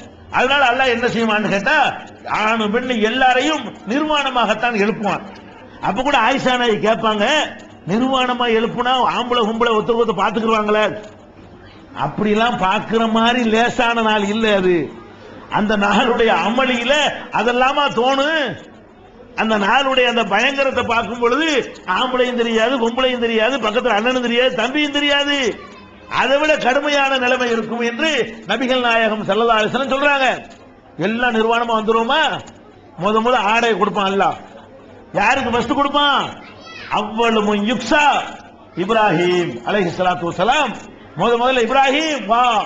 இந்த முதல்ல ஆடை உனக்கு தான். எல்லா நிர்வாணமா இருக்கும் பொழுது முத முதல்ல யாருக்கு ஆடை? இப்ராஹிம் நபிக்கு ஆடை. புகாரியில நபிகள் நாயகம் ஸல்லல்லாஹு அலைஹி சொன்னது ஆதாரப்பூர்வமாக பதிவு செய்யப்பட்டிருக்கிறது. அப்ப இப்ராஹிம் நபி அந்தஸ்து உங்களுக்கு விளங்குதா அவ்வளவு பெரிய இப்ராஹிம் நபி அவ்வளவு பெரிய அந்தஸ்து உள்ள இப்ராஹிம் நபி அவர்களுக்கு காபாவுல சிலையை வச்சு வணங்கினாங்க. அவருடைய மகன் இஸ்மாயில் நபிக்கு காபாவுல சிலையை வச்சு வணங்கினாங்க. நம்ம வணங்குறமே நாகுராரு மைதீன் அப்துல் கார்ஜிலானி இது எல்லாம் விட இப்ராஹிம் நபி சிறந்தால் தானே ரசூல் சல்லாசன் என்ன பண்ணாங்க? மக்கா வெற்றி அடைஞ்ச உடனே காபாவில் நுழையிறதுக்கு முன்னாடி முதல்ல அந்த ரெண்டு கடாசு. வெளியதுக்கு எரி முதல்ல. யார? இப்ராஹிம் நபியையும் இஸ்மாயில் நபி சிலையையும் தூக்கி வெளியதுக்கு போடு. அது இருக்கிற வரைக்கும் நான் உள்ள வர மாட்டேன் என்ன காட்டுது? இப்ராஹிம் நபியையும் நான் வணங்கி விட முடியாது. சமாதியாகவும் வணங்கக்கூடாது சிலையாகவும் வணங்கக்கூடாது. எந்த ரூபத்திலும் உசுரோட இருந்தாலும் வணங்கக்கூடாது இறந்தாலும் வணங்கக்கூடாது. ஈசா நபி உசுரோட வேற இருக்கிறாங்க. அதை வணங்கினவனே இப்படி ஆயிட்டாங்க. ஈசா நபி உயிரோட இருந்து கூட அவங்கள வணங்கின ஆளுகள் என்ன ஆயிட்டான்? நிராகரிப்பாளர் ஆயிட்டான்னு சொன்ன இந்த அடிப்படை கூட விளங்காமல் செத்தவர்களை வணங்குகிறீர்களே. இத கேட்டா குழப்பவாதியா? ஏன் இதை கேட்கிறோம்? அடித்தாலும் இதை சொல்லுவோம். நீங்கள் உதைத்தாலும் சொல்லுவோம். அடக்குமுறைகளை கட்டவிழ்த்து விட்டாலும் சொல்லுவோம். ஏன் சொல்றோம்? நீங்கள் நிரந்தர நரகத்திற்கு போகக்கூடாது என்று சொல்கிறோம். எதுக்கு இதை சொல்றோம்? இதை சொல்லலைன்னா எங்களுக்கு மாலை போடுவீங்களே? இதை சொல்லலைன்னா அப்படி பள்ளிவாசல்ல போய் உட்காந்து பேசுவோமா நாங்க? இதை சொல்லலைன்னா மெம்பர்ல ஏற்றி விட்டு பேச சொல்லுவீங்களே? அதை நாங்க விரும்பல. நீங்க நரகத்துக்கு போகக்கூடாது. நீங்கள் நிரந்தர நரகவாசி ஆயிடக்கூடாது இதை செய்த பிறகு ஒருத்தன் தொழுதாலும் நன்மை இல்லை. அல்லாஹ் குரான் சொல்றான் ஒமை இஸ்ரிக்கு பில்லா பக்கத்து ஹர்ரம் அல்லாஹு ஜன்னா யார் ஒருத்தன் அல்லாவுக்கு இணை கற்பிக்கிறானோ அவனுக்கு சொர்க்கத்தை அல்லாஹ் ஹராமாக்கித்தான். அல்லாஹ் வைக்கிற இடத்துல நீங்க கொண்டு ஈசா நபியை வச்சாலும் உனக்கு சொர்க்கம் ஹராம். அல்லாஹ் வைக்கிற இடத்துல கொண்டு போய் அப்துல் கார் ஜீலானியை வச்சாலும் உனக்கு சொர்க்கம் ஹராம். அல்லாஹ் குரான சொல்லி காட்டுகிறான். அப்ப இன்னல்லாஹ லா யக்பிரு யுஸ்ரக பிஹி வ தாலிக். தனக்கு இணை கற்பிக்கப்படுவதை அல்லாஹ் மன்னிக்க மாட்டான். அதை தவிர மற்ற பாவங்களை மன்னிப்பான். நாடியவர்களுக்கு மன்னிப்பான். அவ்வளவு பெரிய பாவம் அது. எது? அல்லாவுடைய இடத்துல உசுரோட உள்ளவனையும் செத்து போனவர்களையும் வைத்து வழிபடுறது இருக்க நேர்ச்சை படுறது இருக்க சஜிதா பண்றது இருக்குது துவா செய்வது இருக்குது இதுகளெல்லாம் நிரந்தரமாக நம்மை நரக படுகொலியிலே தள்ளக்கூடியது. நபிகள் நாயகம் சல்லல்லாஹ் அலிஸ்லாம் அவர்களை பார்த்து அல்லாஹ் சொல்கிறான் லைன் அஷ்ரக்த லயஹபத் யஹபத் அமலுக்க. முகமது நபியே நீங்க அல்லாவுக்கு என வச்சீங்க உங்களுடைய அமல்கள் எல்லாம் அழிந்து விடும் நீங்க நாகூராரு கூப்பிட்டு தொழுதிங்க தொழுக அழிந்து விடும் அப்துல் கார் கூப்பிட்டு ச- ஹஜ்ஜி செஞ்சீங்க ஹஜ்ஜி அழிந்து விடும் சதக்கா அழிந்து விடும் ரிக்கர் அழிந்து விடும் தஸ்பீக் அழிந்து விடும் கோழி முட்டை தான் வாங்குவீங்க. அதுக்கு தான் கத்துறோம். இதுல என்ன லாபம் எங்களுக்கு? எல்லாரும் சொல்றத சொல்லிட்டு போனா லாபமா? ஏத்துக்கிட்டு லாபமா? எது லாபம்? எல்லாரும் சொல்றத சேர்ந்து போனா அதிக மக்கள். அதிகமான பேருடைய ஆதரவு ஏன் எதிர்ப்பு? என்ன வேண்டாலும் நடக்கும் என்கிற நிலையில் தான் நாங்கள் வந்தோம். அனுமதி மறுக்கப்படுதுன்னு எழுதி தந்தார்கள். என்ன நினைச்சு வந்தோம்? நீ மறுத்தாலும் சரி உன் துப்பாக்கி தூக்கி நீட்டினாலும் சரி நடக்கிறது நடக்கும்னு வர்றோம். பயப்பட்டோமா? ஏன் வர்றோம்? ஏன் அனுமதி மறுக்குது? அவங்கள மாதிரி கச்சேரி நடத்த வந்தா அனுமதி மறுப்பாங்களா? அவங்கள மாதிரி மீளாது விழா நடத்த வந்தா மறுப்பாங்களா? அனுமதி மறுக்கப்படுதுன்னா என்ன மறுக்கிறது? மண்டபத்தில் நடத்த நீ யாரையா மறுக்கிறது? மறுத்து பாத்துக்க அப்படின்னு வந்தமா இல்லையா? என்ன வேண்டாலும் நடக்கலான்னு தானே வந்தோம். நடக்கல கூட்டம் நடக்குது. நாங்க வரும்போது அந்த நிலையில வந்தோம். அடிதடி நடக்கலாம் தடியடி நடக்கலாம் துப்பாக்கி சூடு நடக்கலாம். அதுக்கெல்லாம் நாங்க பயப்பட மாட்டோம். இதுக்கெல்லாம் அஞ்சு இருபத்தஞ்சு நாங்க பார்க்காத அடியும் இல்லை உதையும் இல்லை வெட்டும் இல்லை குத்தும் இல்லை அவ்வளவு வாங்கி இருக்கிறோம் பின்வாங்க மாட்டோம். ஒரு காலத்திலையும் முன் வச்ச கால பின் வைக்கிற பேச்சுக்கு இடம் கிடையாது. போய்கிட்டே தான் இருப்போமே தவிர நீங்க மிரட்டு ஊரே திரண்டு நின்று என்ன செஞ்சீங்க? ஒரு நோட்டீஸ் கொடுத்ததற்காக மேல் விசாரத்தில் என்ன செஞ்சீர்கள்? நோட்டீஸ் கொடுத்தா என்ன எழுதிருக்குன்னு பார்க்கலாம் படிக்கலாம். அதுல படிக்க விருப்பம் இல்லாட்டி வாங்கி கிழிச்சு போட்டு போகலாம். நாலு பேரை சேர்ந்து நாலாயிரம் பேர் ஒன்னா சேர்ந்து ஏறி மிதிக்கிறது இது இஸ்லாமா? நோட்டீஸ வாயில திணிச்சுக்கிட்டு அடிக்கிறது இஸ்லாமா? இதை செஞ்சீங்களா இல்லையா? செஞ்சு என்ன சாதிச்சிட்டீங்க? இந்த வந்துட்டோம் அவ்வளவுதான். அன்னைக்கு தடுத்தீங்க இன்னைக்கு வந்தோம். நாளைக்கு என்ன? தெருவுலையும் வருவோம். நாளை கட்சி என்ன? நாளை கட்சி என்ன? பள்ளி வாசலுக்கு உள்ளேயும் வருவோம். அதனால நினைக்கிறாங்க பிள்ளை அடிச்சு வா. ஆ, ஓய் போயிரும். இதெல்லாம் பார்த்து பார்த்து புளிச்சு போன விஷயங்கள். இதற்கெல்லாம் தௌஹீதை சேர்ந்த ஊர் சகோ ஏன்? மறுமைக்கு சொல்றோம். அரசியல் நினைக்கிறதுக்கு சொல்றோமா? அரசியல் ஆதாயத்துக்கு சொல்றவனா இருந்தா இதுக்கு பயந்து ஓடி போயிருவான் நீ அடிச்சா அது நன்மை. சுண்ணத்துன்னு எடுத்துக்கிடுவோம் ஏன்? அடி வாங்குறது ரசூல்லாவுடைய சுண்ணத்து. ரசூல் சல்லாஹ் ஒரு சுண்ணத்து ஆடி வைக்கிற மட்டும் சுண்ணத்து இல்ல. அடி வாங்குறது சுண்ணத்து. அடி வாங்கினாங்கல்ல? ஊரை விட்டு விரட்டுறீங்களா? அதுவும் சுண்ணத்து. சொத்துக்கள்லாம் பறிச்சுக்கிறீங்களா? அதுவும் சுண்ணத்து. எல்லா நபிமார்கள் சுண்ணத்துங்க அது. நபிமார்களுடைய சுண்ணத்து என்று எடுத்துக்கொள்ளக்கூடிய சமுதாயம் இது. வழங்கி கொள்ளணும். அப்ப நம்ம என்ன சொல்றோம்?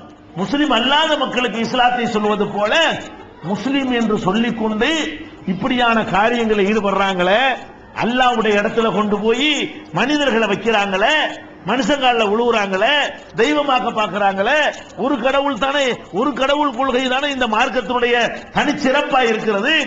அதுக்கு வந்து குழி வந்து புதைக்க பார்க்கறாங்களே அப்படிங்கிற அடிப்படையில் தான் நாங்கள் சீர்திருத்த பணியை செய்கிறோம். இது தப்பா? இது ஒரு பக்கம் அடிப்படை கொள்கை.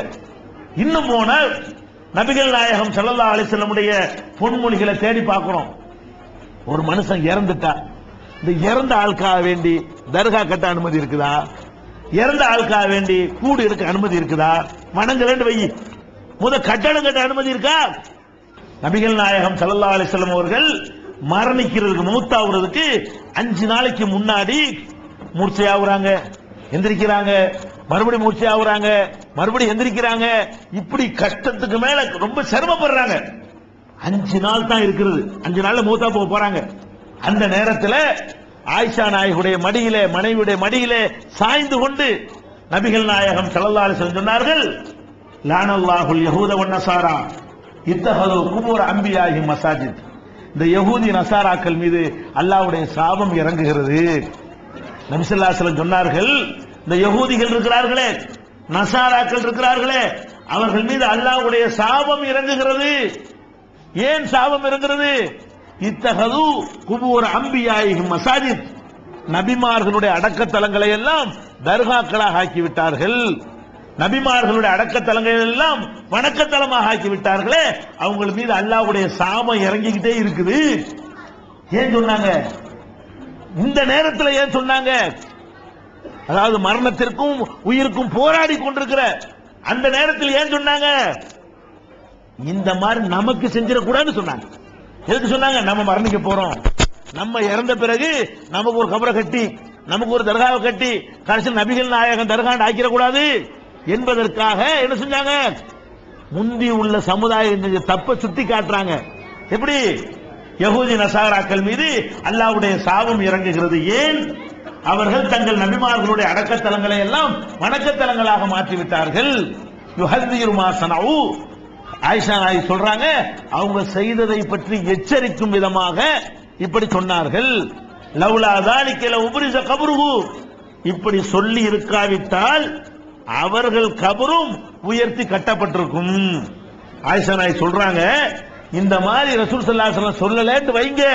மரணிக்கும் பொழுது இன்னாலும் ரசூல்லாவுடைய பெரிய தர்கா உலகத்திலே பெரிய தர்கா தான் இருந்திருக்கும். தடுத்துட்டு போயிட்டாங்களா இல்லையா? நபிகள் நாயகத்துக்கு தர்கா கட்டக்கூடாதுன்னு சொன்னா இவங்களுக்கெல்லாம் கட்டுவீங்களா? நபிகள் நாய நபிமார்களுடைய கபர்களை கூட தர்காவை ஆக்கக்கூடாதுங்கிறாங்களே. யகூதி என்ன பண்ணுனா உங்களை மாதிரி அட்ரஸ் இல்லாத ஆட்களுக்கு தர்கா கட்டினா? யகூதி யாரு கட்டினா? இந்த ஹதீஸ்ல என்ன வாசகம் வருது? இத்தகது குபூர அம்பியாயிஹிம் நபிமார்களுடைய கபர்களுக்கு தர்கா கட்டினா அப்ப நபிமார்கள் நிச்சயமாக நல்லடியார்கள். அந்த நல்லடியார்கள் என்று நிச்சயப்படுத்தப்பட்ட அந்த மக்களுக்கு தர்கா கட்டினவனை பத்தி ரசூல் ஸல்லல்லாஹு என்ன சொல்றாங்க. அவன் மீது சாபம் இறங்குது. அல்லாவுடைய கோபம் இறங்குதுன்னு சொன்னாங்களே. எப்படி நீங்க கட்டுவீங்க? எப்படி இந்த நவாப்புகளுக்கு எல்லாம் கட்டுவீங்க? எப்படி இந்த மாதிரி பணக்காரங்களாம் கட்டுவீங்க? சில இடங்கள்ல மயில் கல்லை இல்ல சுபானல்லா இவன் யாருக்கெல்லாம் கட்டிருக்காங்க இந்த பர்லாங்கு கல்லு போட்டிருப்பாங்கல்ல அந்த காலத்துல. மயில் கல் தெரியுமா? அதையெல்லாம் தர்கா நாற்பது எவ்வளோ அறுபது அவளியான்ட்டானுவோம் அந்த காலத்துல அறுபது எல்லாம் மனசை இந்த காலத்துல இருக்க செஞ்சா? பர்லாங்கு கல் போட்டுருப்பாங்க இல்லைங்க அதை கபர் மாதிரி அப்படி போட்டுப்பாங்க அந்த காலத்துல. இந்த கபூர்ல வைக்குவாங்கல்ல இப்படி வளைவா. அந்த மாதிரி அந்த கல் இருக்கும். இங்கே அங்கேயும் இருக்குமா? பார்த்தான். இல்ல அறுபது அடி பாவான்ருவோம். ம். இந்த மாதிரி பண்ணி இருக்கிறாங்க அது முக்கியமா சொல்ல வேண்டிய ஒரு விஷயம். இவங்க யாரையெல்லாம் அவுளியா வாக்கியிருக்காங்கன்னு கொஞ்சம் எடுத்து பார்த்தீங்கன்னா பழைய கதைக்கு போக வேணாம். நம்ம கண்ணால ஏன் கண்ணால இந்த உங்க முன்னாடி வாழ்ந்து கொண்டிருக்கிற இந்த காலத்துல கண்ட சில காட்சிகளை உங்களுக்கு சொல்றேன். பின்னாடி என்னன்னு சொல்லுவாங்கன்னு பாத்துக்கிறோம் இப்ப நமக்கு தெரிஞ்சதுனால சொல்றோம். பொட்டல் புதுன்னு ஒரு ஊர். பொட்டல் புதூர்னு திருநெல்வேலி மாவட்டத்தில் நெல்லை மாவட்டத்தில் பொட்டல் புதூர்னு ஒரு ஊர் இருக்குங்க. அந்த ஊர்ல ஒரு தர்கா இருக்குது. தர்காண்டா இது ஸ்பெஷல் தர்கா. என்ன தர்கா? அங்க கபரே கிடையாது. அப்துல் கார் ஜிலானி அவர் பகதாதில் அடங்கியிருக்காருங்கிறாங்க இங்க. ஒரு தர்கா கட்டி வச்சுக்கிறாங்க என்னடான்னு கேட்டா அவர் இங்க வந்து அந்த ஆத்துல ஒழு செஞ்சாராம். தொழுவதற்காக வேண்டி. வந்து. பகதாதுல இருந்து தண்ணி கிடைக்காம இங்க வந்திருக்காரு இங்க பொட்டல் புதர்ல வந்து அவர் ஒழு செஞ்சுட்டு போனாரு. தொழுவதற்காக வேண்டி ஒழு செஞ்ச இடம் அப்படின்னு ஒரு தர்கா கட்டி வச்சுக்கிறாங்க. அந்த தர்காவுல வாசல்ல ஒரு யானை. எல்லாமே அப்படித்தானே? இந்த தர்காவுடைய பேசிக்கே எப்படி வருதுன்னு சொன்னா மற்ற சமுதாய மக்கள் செய்யற மாதிரி காப்பி அடிச்சு வருது. அவங்க யானை வச்சிருப்பாங்கல்ல? அவங்க கோயில்கள்ல யானை வச்சுக்கிற பாத்துக்கிறீங்களா அவங்க யானை வச்சிருப்பாங்க. அவங்க யானையை வச்சிருக்கிறாங்கன்னா அதுக்கு ஒரு அர்த்தம் இருக்குது. என்ன அர்த்தம்? அவங்க நம்பிக்கை பிரகாரம் ஒரு கடவுளே யானை முகத்தோடு இருக்கிறார்.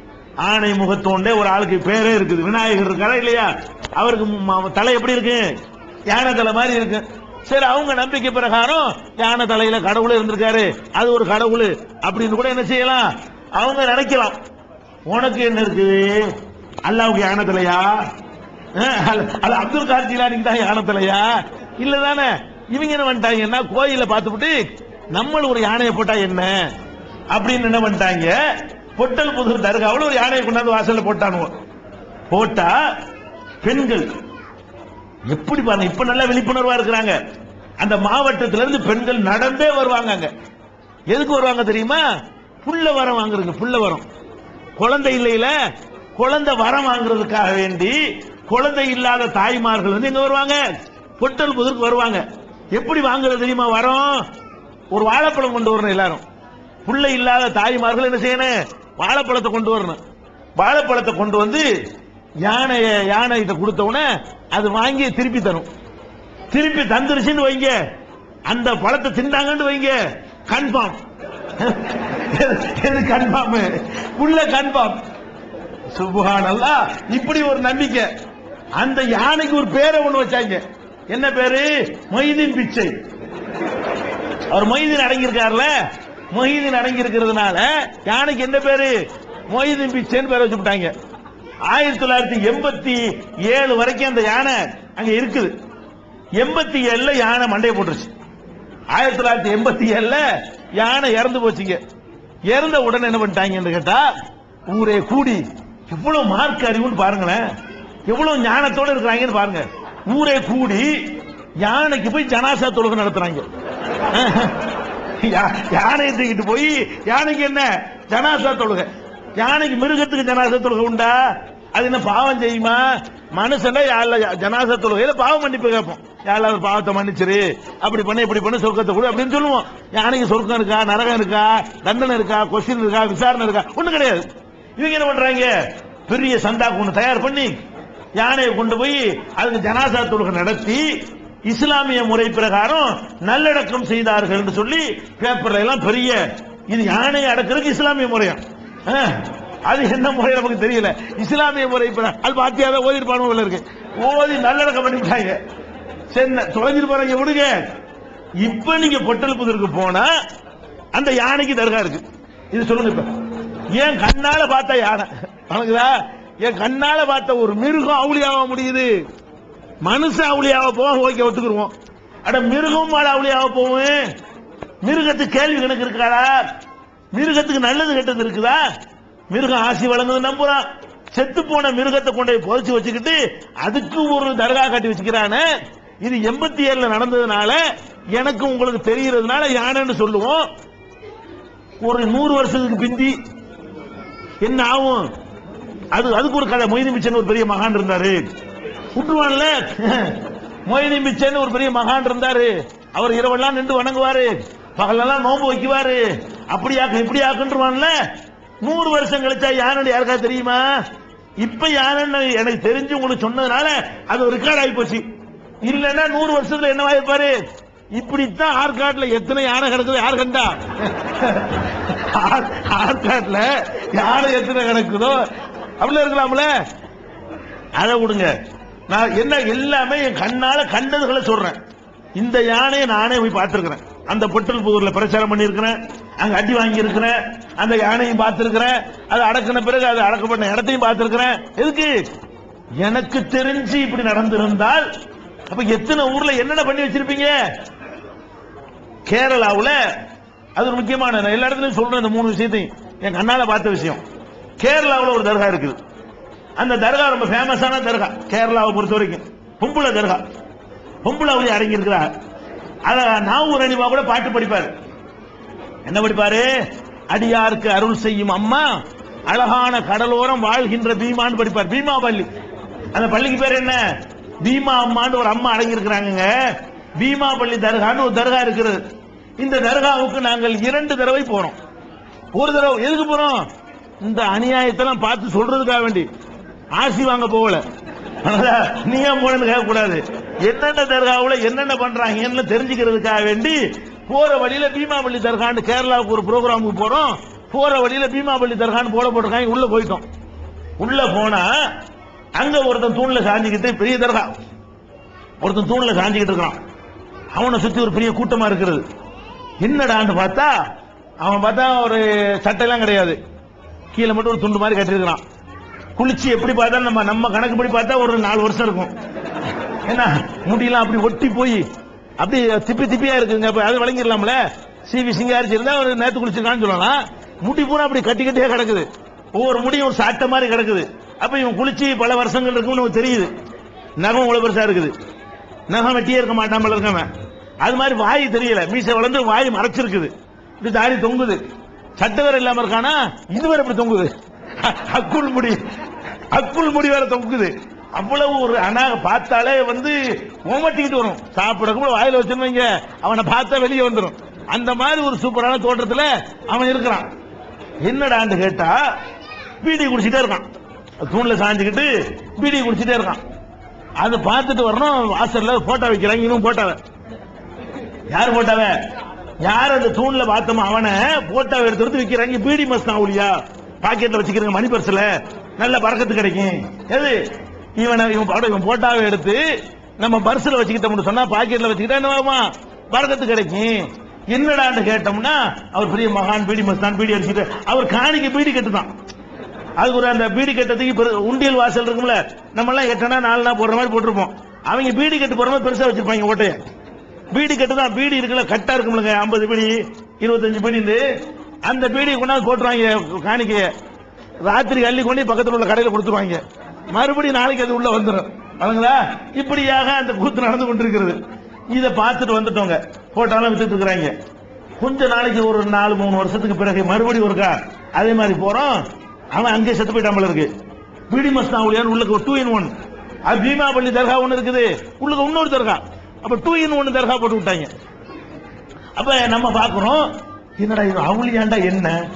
அவுளியாண்டா நகத்தை வெட்டணுங்கிறது ரசூல்லா சொன்னது. ரசூல்லா சொன்ன சுண்ணத்தை கடைபிடிச்சவன் தான் அல்லாவுடைய நேசனா இருக்க முடியும். யாருக்கு தலையில முடி இருக்கிறதோ மண்கானல ஹுஷாருன்னு சொல்லி குறிமுகு தலையில முடி இருந்தா பரட்டையா வச்சுக்கிற கூடாது.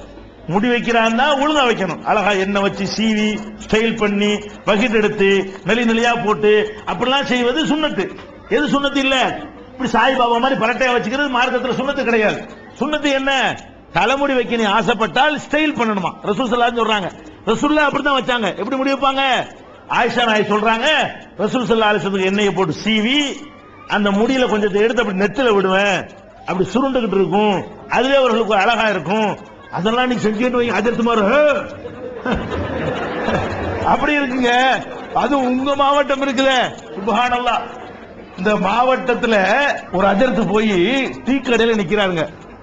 என்ன பண்ணிட்டாங்க? பேரணப்பட்டில் பேரணப்பட்ட ஆளுக்கு தெரியும். அஜர்த்து டீ கடைக்கு போயிட்டாரு. அஜர்த்துல டீ கடைக்கு போக கூடாது சாராய கடைக்கு போன பேசுறாங்க. டீ கடையில போய் டீ குடிச்சிட்டாரு. அஜர்த்து டீ கடைக்கு போயிட்டாரு. அஜர்த்து டீ கடைக்கு போயிட்டாருன்றான் உள்ள ஒரு பதினஞ்சு வருஷத்துக்கு முன்னாடி பஞ்சாயத்து ஆகிட்டானு அப்ப அந்த மாதிரியான ஒரு மாவட்டமா இருக்கிறது எதுல? அது மாதிரி ஒரு மதிப்பு இல்லாது அப்ப அந்த மாதிரி எல்லாம் இருக்கும் பொழுது நம்ம பார்க்கிறோம். தலைமுடி வைக்கிறதா இருந்தா ஸ்டைலா வைக்கணும். அழகா வைக்கணும். பகீர் எடுத்து வைக்கலாம். ரசூல்லா நடுவகு நடுவகு எடுத்து வைப்பாங்க. ஸ்டைலா வைப்பாங்க. எல்லாம் அந்த மாதிரியான ஒரு மார்க்கம். இவன் தலைக்கு எண்ணெயே கண்டு பிறந்தகத்தை எண்ணெய் வச்சிருக்க மாட்டான். அவன் அவுளியா. நகம் வெட்டல அவுளியா. அக்குள் முடி தொங்குது அது அவுளியா.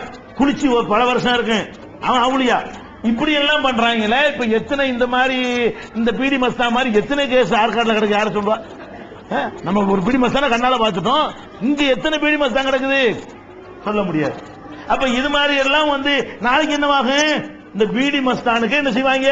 அதுக்கு வேற ஏதாவது வியாக்கியானத்தை கொடுத்து அவருக்கு ஒரு பெரிய கதையை கட்டி அவர் ராத்திரி புராணம் தவம் செஞ்ச மாதிரி அது பெரிய தியாகம் பண்ண மாதிரி பெரிய படையோட வந்தாரு. அது பண்ணாரு இஸ்லாத்து பிரச்சாரம் பண்ணாரு. அவருடைய போதனையை கேட்டு லட்சக்கணக்கான பேர் இஸ்லாத்தை தழுவுனாங்க. இப்படிலாம் கதையை விட்டுருவாங்க. அவன் ஒரு மென்டல் கொண்டாந்து பள்ளியாசல கட்டி வச்சாங்கன்னா அதுல மண்டையை போட்டான்னு சொன்னா அவனை போய் பிடி மஸ்தான் தரக்கான்ட்டாங்க. பாக்குறமா இல்லையா? ஏன் தூரத்துக்கு போறீங்க? இந்த உங்க வேலூருக்கு போங்களேன். இந்த இருக்கு வேலூர். வேலூர்ல நமக்குன்னு ஒரு பள்ளிவாசல் தௌஹீத் பள்ளிவாசல் இருக்கு. எந்த ஏரியாங்க அது ஆரன்பாளையம் ரஹமத் பாலாண்டு ஒரு இடம் இருக்குல்ல அங்க நமக்குன்னு ஒரு பள்ளிவாசல் இருக்கு தௌஹீத் பள்ளி. அந்த பள்ளிவாசலுக்கு பக்கத்துல ஒரு தர்கா இருக்கு. என்ன தர்கா? என்ன தர்கா? பாம்போகுலியா இருக்கா? நிசமாங்க பாம்பை புதைச்சு வச்சு பாம்புக்கு கபரை கட்டி பாம்பு ஒளியாண்டு வச்சு அதுல பாத்தியா ஓதுறாங்க? அட பாம்புக்கு தர்கா கட்டி என் கண்ணால் இந்த வேலூர்ல நீங்க இன்னைக்கு பார்க்கலாமே. எங்க தூரத்தில் விட நான் சொல்லல.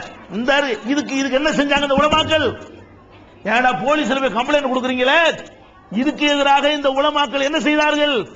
இந்த பாம்பை கடவுளாக்குவதற்கு எதிராக இங்க உள்ள தனவந்தர்கள் என்ன செய்தார்கள்? பெரிய பெரிய தாடி மாலாக்கள் ஜுப்பாக்கள் என்ன செய்தார்கள்? நாங்க அந்த இடத்துல நின்று அதை முறியடிச்சோம் அந்த பாம்பு அவளியாவே களை எடுத்தோம். எந்த இடத்துல தப்பு நடக்குதோ அங்க காலை ஊண்டிக்கிட்டு பாம்பு அவளியாவுக்கு ஒண்ணும் இல்லாம ஆக்கணுமா இல்லையா? அப்ப நான் இப்ப நம்ம கண்ணால பாக்கணும் இப்படிதான் தர்காக்கெல்லாம் உண்டாவுது. அந்த மாதிரி மிருகங்களுக்கு தர்கா கெட்டவர்களுக்கு தர்கா. அப்ப எத்தனை இந்த மாதிரி கேசுகள் ஏன் இது போய் நம்புறீங்க? நபிமார்களை தர்கா வாக்குனாலேயே அது லானத்துங்கிறாங்க ரசூல் சல்லா அலிசல்லம் நீங்க முகவரி ஏற்றவர்களை எல்லாம் இது மாதிரி மிருகங்களை எல்லாம் கேடு கெட்டவர்கள் எல்லாம் களிசடைகளை எல்லாம் மகான்கள் என்ற பெயர்ல கும்பிட்டால் அது இஸ்லாம் ஆகுமா? என்று மக்களுக்கு விழிப்புணர்வு ஊட்டினால் இது நல்லதா கெட்டதா? எல்லாம் காப்பி. இந்த தர்காவுல நடக்கிற அனைத்துமே உண்டியல் காப்பி கொடிமரம் காப்பி எங்க காப்பி? முஸ்லீம் அல்லாத மக்கள் செய்யறாங்கல்ல அதை பார்த்துட்டு அப்படியே காப்பி. அவங்க உண்டியல் வச்சா நானும் உண்டியல் வைக்குவேன். அவங்க வந்து கொடிமரம் வச்சா நானும் கொடிமரம் வைக்குவேன். அவங்க தேர் இழுத்தா நானும் தே- பேரை மட்டும் மாத்திக்குவாங்க சந்தன கூடுன்னு. அவன் தேர் இழுத்தா அவங்க என்ன செய்வாங்க? கூடு இழுப்பேங்குவாங்க ரெண்டு என்ன? பேர்ல தான் வித்தியாசம். இப்படி எல்லாமே அங்கிருந்து காப்பி அடித்து இஸ்லாத்தின் பேர்ல நுழைச்சிட்டாங்க என்று சொன்னால் இதுல என்ன கெட்டது இருக்குது நாங்க சொல்றதுல?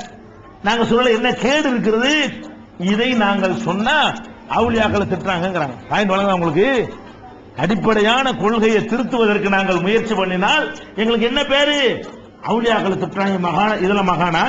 இப்ப யானையை கூட நீங்க கும்பிடுவீங்க அதை நாங்க சுட்டி காட்டக்கூடாதா? பண்ணிய கூட அவுளியாமி குரங்குக்கெல்லாம் தலை கட்டிச்சுக்கிறாங்க.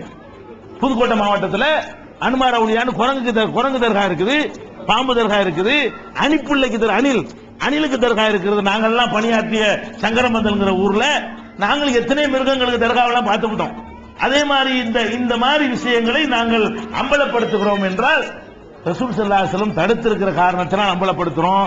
அப்ப இந்த அடிப்படையை தான் நாங்க சொல்றோமே தவிர மகான்களை யாரையும் நாங்க திட்டுறது கிடையாது. யாரையும் நீங்க மகான் சொல்லாதீங்க. மகான்கள் அல்லாஹ் யாரை மகான் என்றானோ அவங்கள மகான் சொல்லுங்க. அல்லாவுடைய ரசூல் யாரை மகான் என்று சொன்னார்களோ அவங்கள மகான் சொல்லுங்க. அதுக்காக அவங்கள கும்பிடாதீங்க. அவங்கள வழிபடாதீங்க அப்படின்னு சொல்றோம். அடுத்து என்ன? இது தர்கா கட்டுற செயல். கட்டணம் கட்டுற செயல். அடுத்து என்ன பண்றாங்கன்னு கேட்டா இந்த இறந்து போனவர்களையும் உயிரோடு உள்ளவர்களையும் கடவுள் நிலையில வசத்தி அல்லாட்ட இருக்கிற கேட்கறது எல்லாம் அவங்கள்ட்ட போய் கேட்கறாங்க. துவா செய்யறாங்க என்ன கேட்கறாங்க? அவளியாவே பிள்ளைய தாங்குறாங்க. எவ்வளவு பெரிய டேஞ்சரு ஒரு முஸ்லீம் வந்து ஒரு மனுஷன் போய் பிள்ளைய தாண்டு கேட்கலாமா?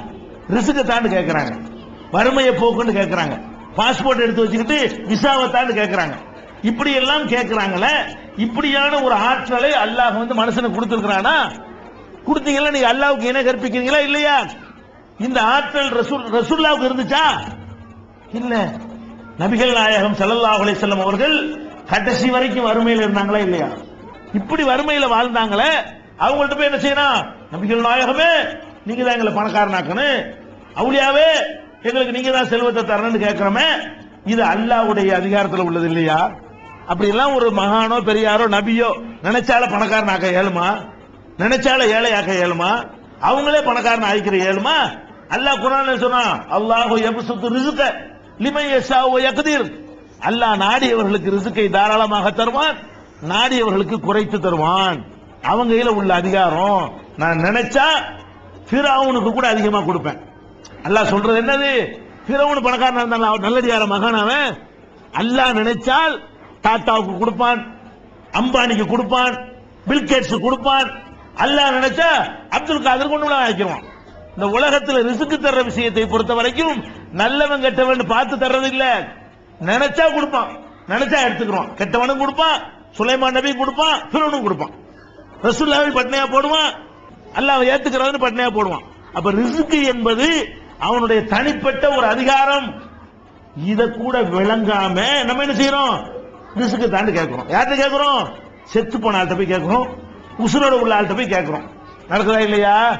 அதே மாதிரி என்ன பண்றோம்? குழந்தையை தாண்டு கேட்கிறோம். இல்ல நீ மறக்க இயலுமா குழந்தையை தர்ற அதிகாரம் நாகூர் ஆண்டவருக்கு இருக்கா? அப்துல் கார் ஜிலானிக்கு இருக்குதா? நபிகள் நாயகத்துக்காவது இருந்துச்சா?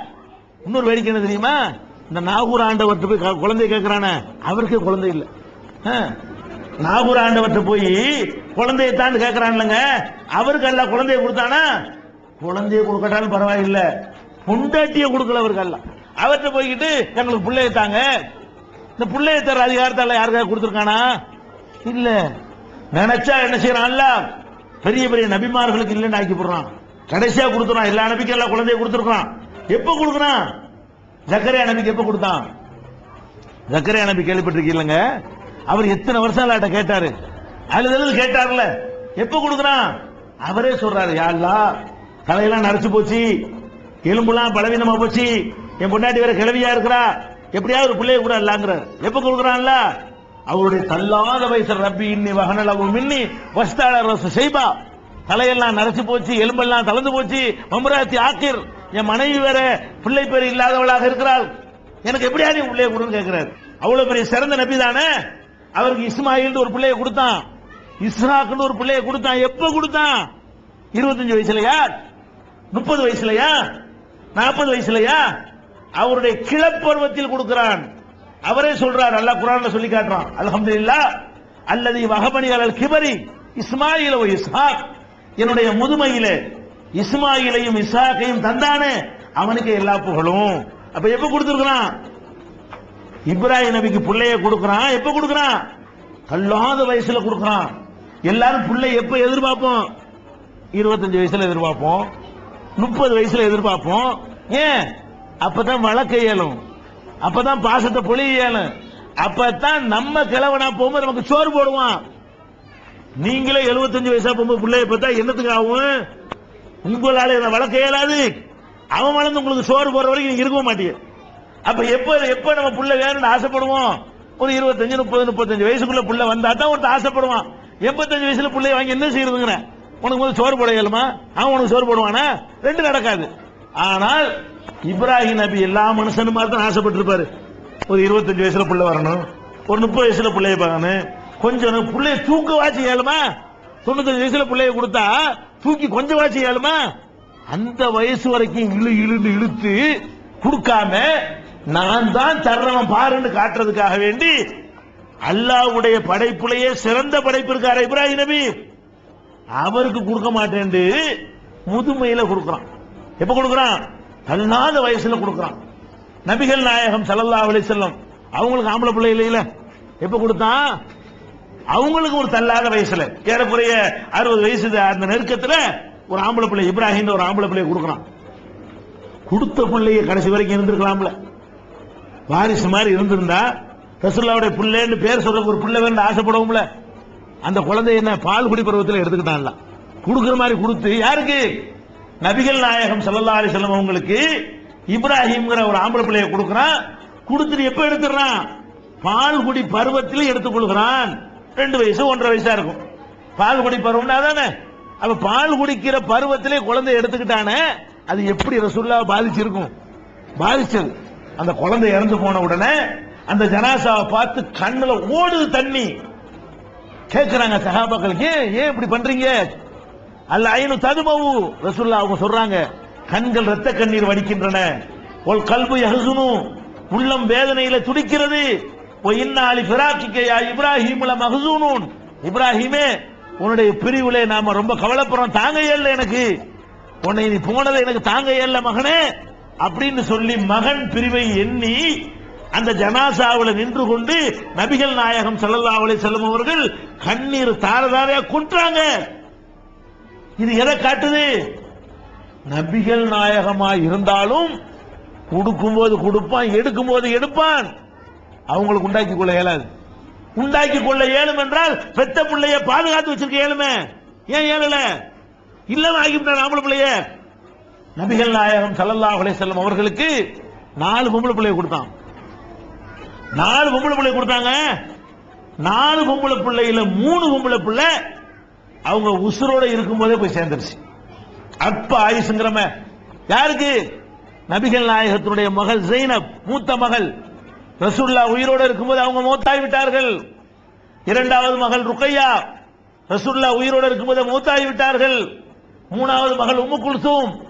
ரசூல்லா உயிரோட இருக்கும்போது அவர்கள் மூத்தாகி விட்டார்கள் பாத்திமா மட்டும்தான் மிஞ்சினார்கள். அவர்களும் ரசூல் சல்லா மௌத்தா போய் ஆறு மாசத்தில் போய் விட்டார்கள் நபிகள் நாயகத்தினுடைய வாரிசுகள் யாருமே நீடூழி வாழ்கங்கிறீங்களே ஒருவரும் வாழல. நீடூழி வாழ்கங்கிறீங்க இல்லைங்க? நீடூழிலாம் வேணாம். ஒரு ஐம்பது வயசா வாழ்ந்திருக்கலாம்ல? ஒரு அறுபது வயசா வாழ்ந்திருக்கலாம்ல? அல்லாவுடைய தூதருடைய புதல்விகளாச்ச அவன் டிசைட் பண்ணுவான். ரசூல்லா டிசைட் பண்றான் தான் நீங்க சொல்றபடி நடக்கலாம். முடிவெடுக்கிறது யாரு? அவன். நாடுனவர்களே டயத்தை போட்டு போட்டு அவன் பாட்டு அனுப்பி விட்டுறான். அதனால நபிகள் நாயகம் ஸல்லல்லாஹு அலைஹி ஆம்பளை பிள்ளையும் எடுத்துக்கிட்டான் கொடுத்த பொம்பளை பிள்ளையும் உசுரோட போய் எடுத்துக்கிட்டான். துடிக்க துடிக்க எடுத்துக்கொண்டான். என்ன விளங்குது? இந்த மாதிரியான அல்ல அழகா சொல்றான் யஹபு லிமன் கூர் நாடியவர்களுக்கு ஆம்பளை பிள்ளையை தருவேன். ஓ யஹபு லிமன் இனாசா. நான் நாடியவர்களுக்கு பொம்பளை பிள்ளையை தருவேன். அவ் யுசப்பிஜஹும் துக்ரானும் வ சிலருக்கு நாடியவர்களுக்கு ஆம்பளை பிள்ளையும் பொம்பளை பிள்ளையும் சேர்த்து தருவேன். வ யஜாலு மைய நான் நாடியவர்களுக்கு பிள்ளை இல்லாம ஆக்குவேன். ஏன் ரைட்டுங்கிறான் அல்லாஹ். அல்லாஹ் குரான்ல சொல்றான் ஆம்பளை பிள்ளையை தர்றது ஏன் ரைட்டு? பொம்பளை பிள்ளையை தர்றது ஏன் ரைட்டு? ரெண்டையும் கலந்து தர்றது ஏன் ரைட்டு? ஒன்னு இல்லாம ஆக்குறது ஏன் ரைட்டு? என்னுடைய உரிமை என்னுடைய அதிகாரம் என்னுடைய பவர் அதுக்கு போட்டியா போய்கிட்டு அப்துல் காதரே பிள்ளைய தாங்க யானா உளியாவே பிள்ளைய தாங்க பானா உளியான்னு கேக்குறீங்களே? இது என்ன? இது இஸ்லாமா? அப்ப இதையெல்லாம் வந்து நாங்கள் விழிப்புணர்வு ஊட்டினா நான் குழப்பவாதிகளா? அல்லாவுடைய இசத்தை உயர்த்துறவன் குழப்பவாதியா?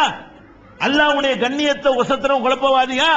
ஒலில்லாஹில் இஸ்ஸத்து இஸ்ஸத் அனைத்தும் அல்லாவுக்கு சொந்தம் என்று சொன்னால் அல்- சொல்லுவதாக ரசூல்லா சொல்றாங்க அல் கிபுரியாவு ரிதாயி.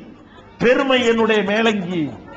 அல்லாஹ் சொல்றானா பெருமை இருக்கிற கௌரவம் அது என்னுடைய மேலங்கி.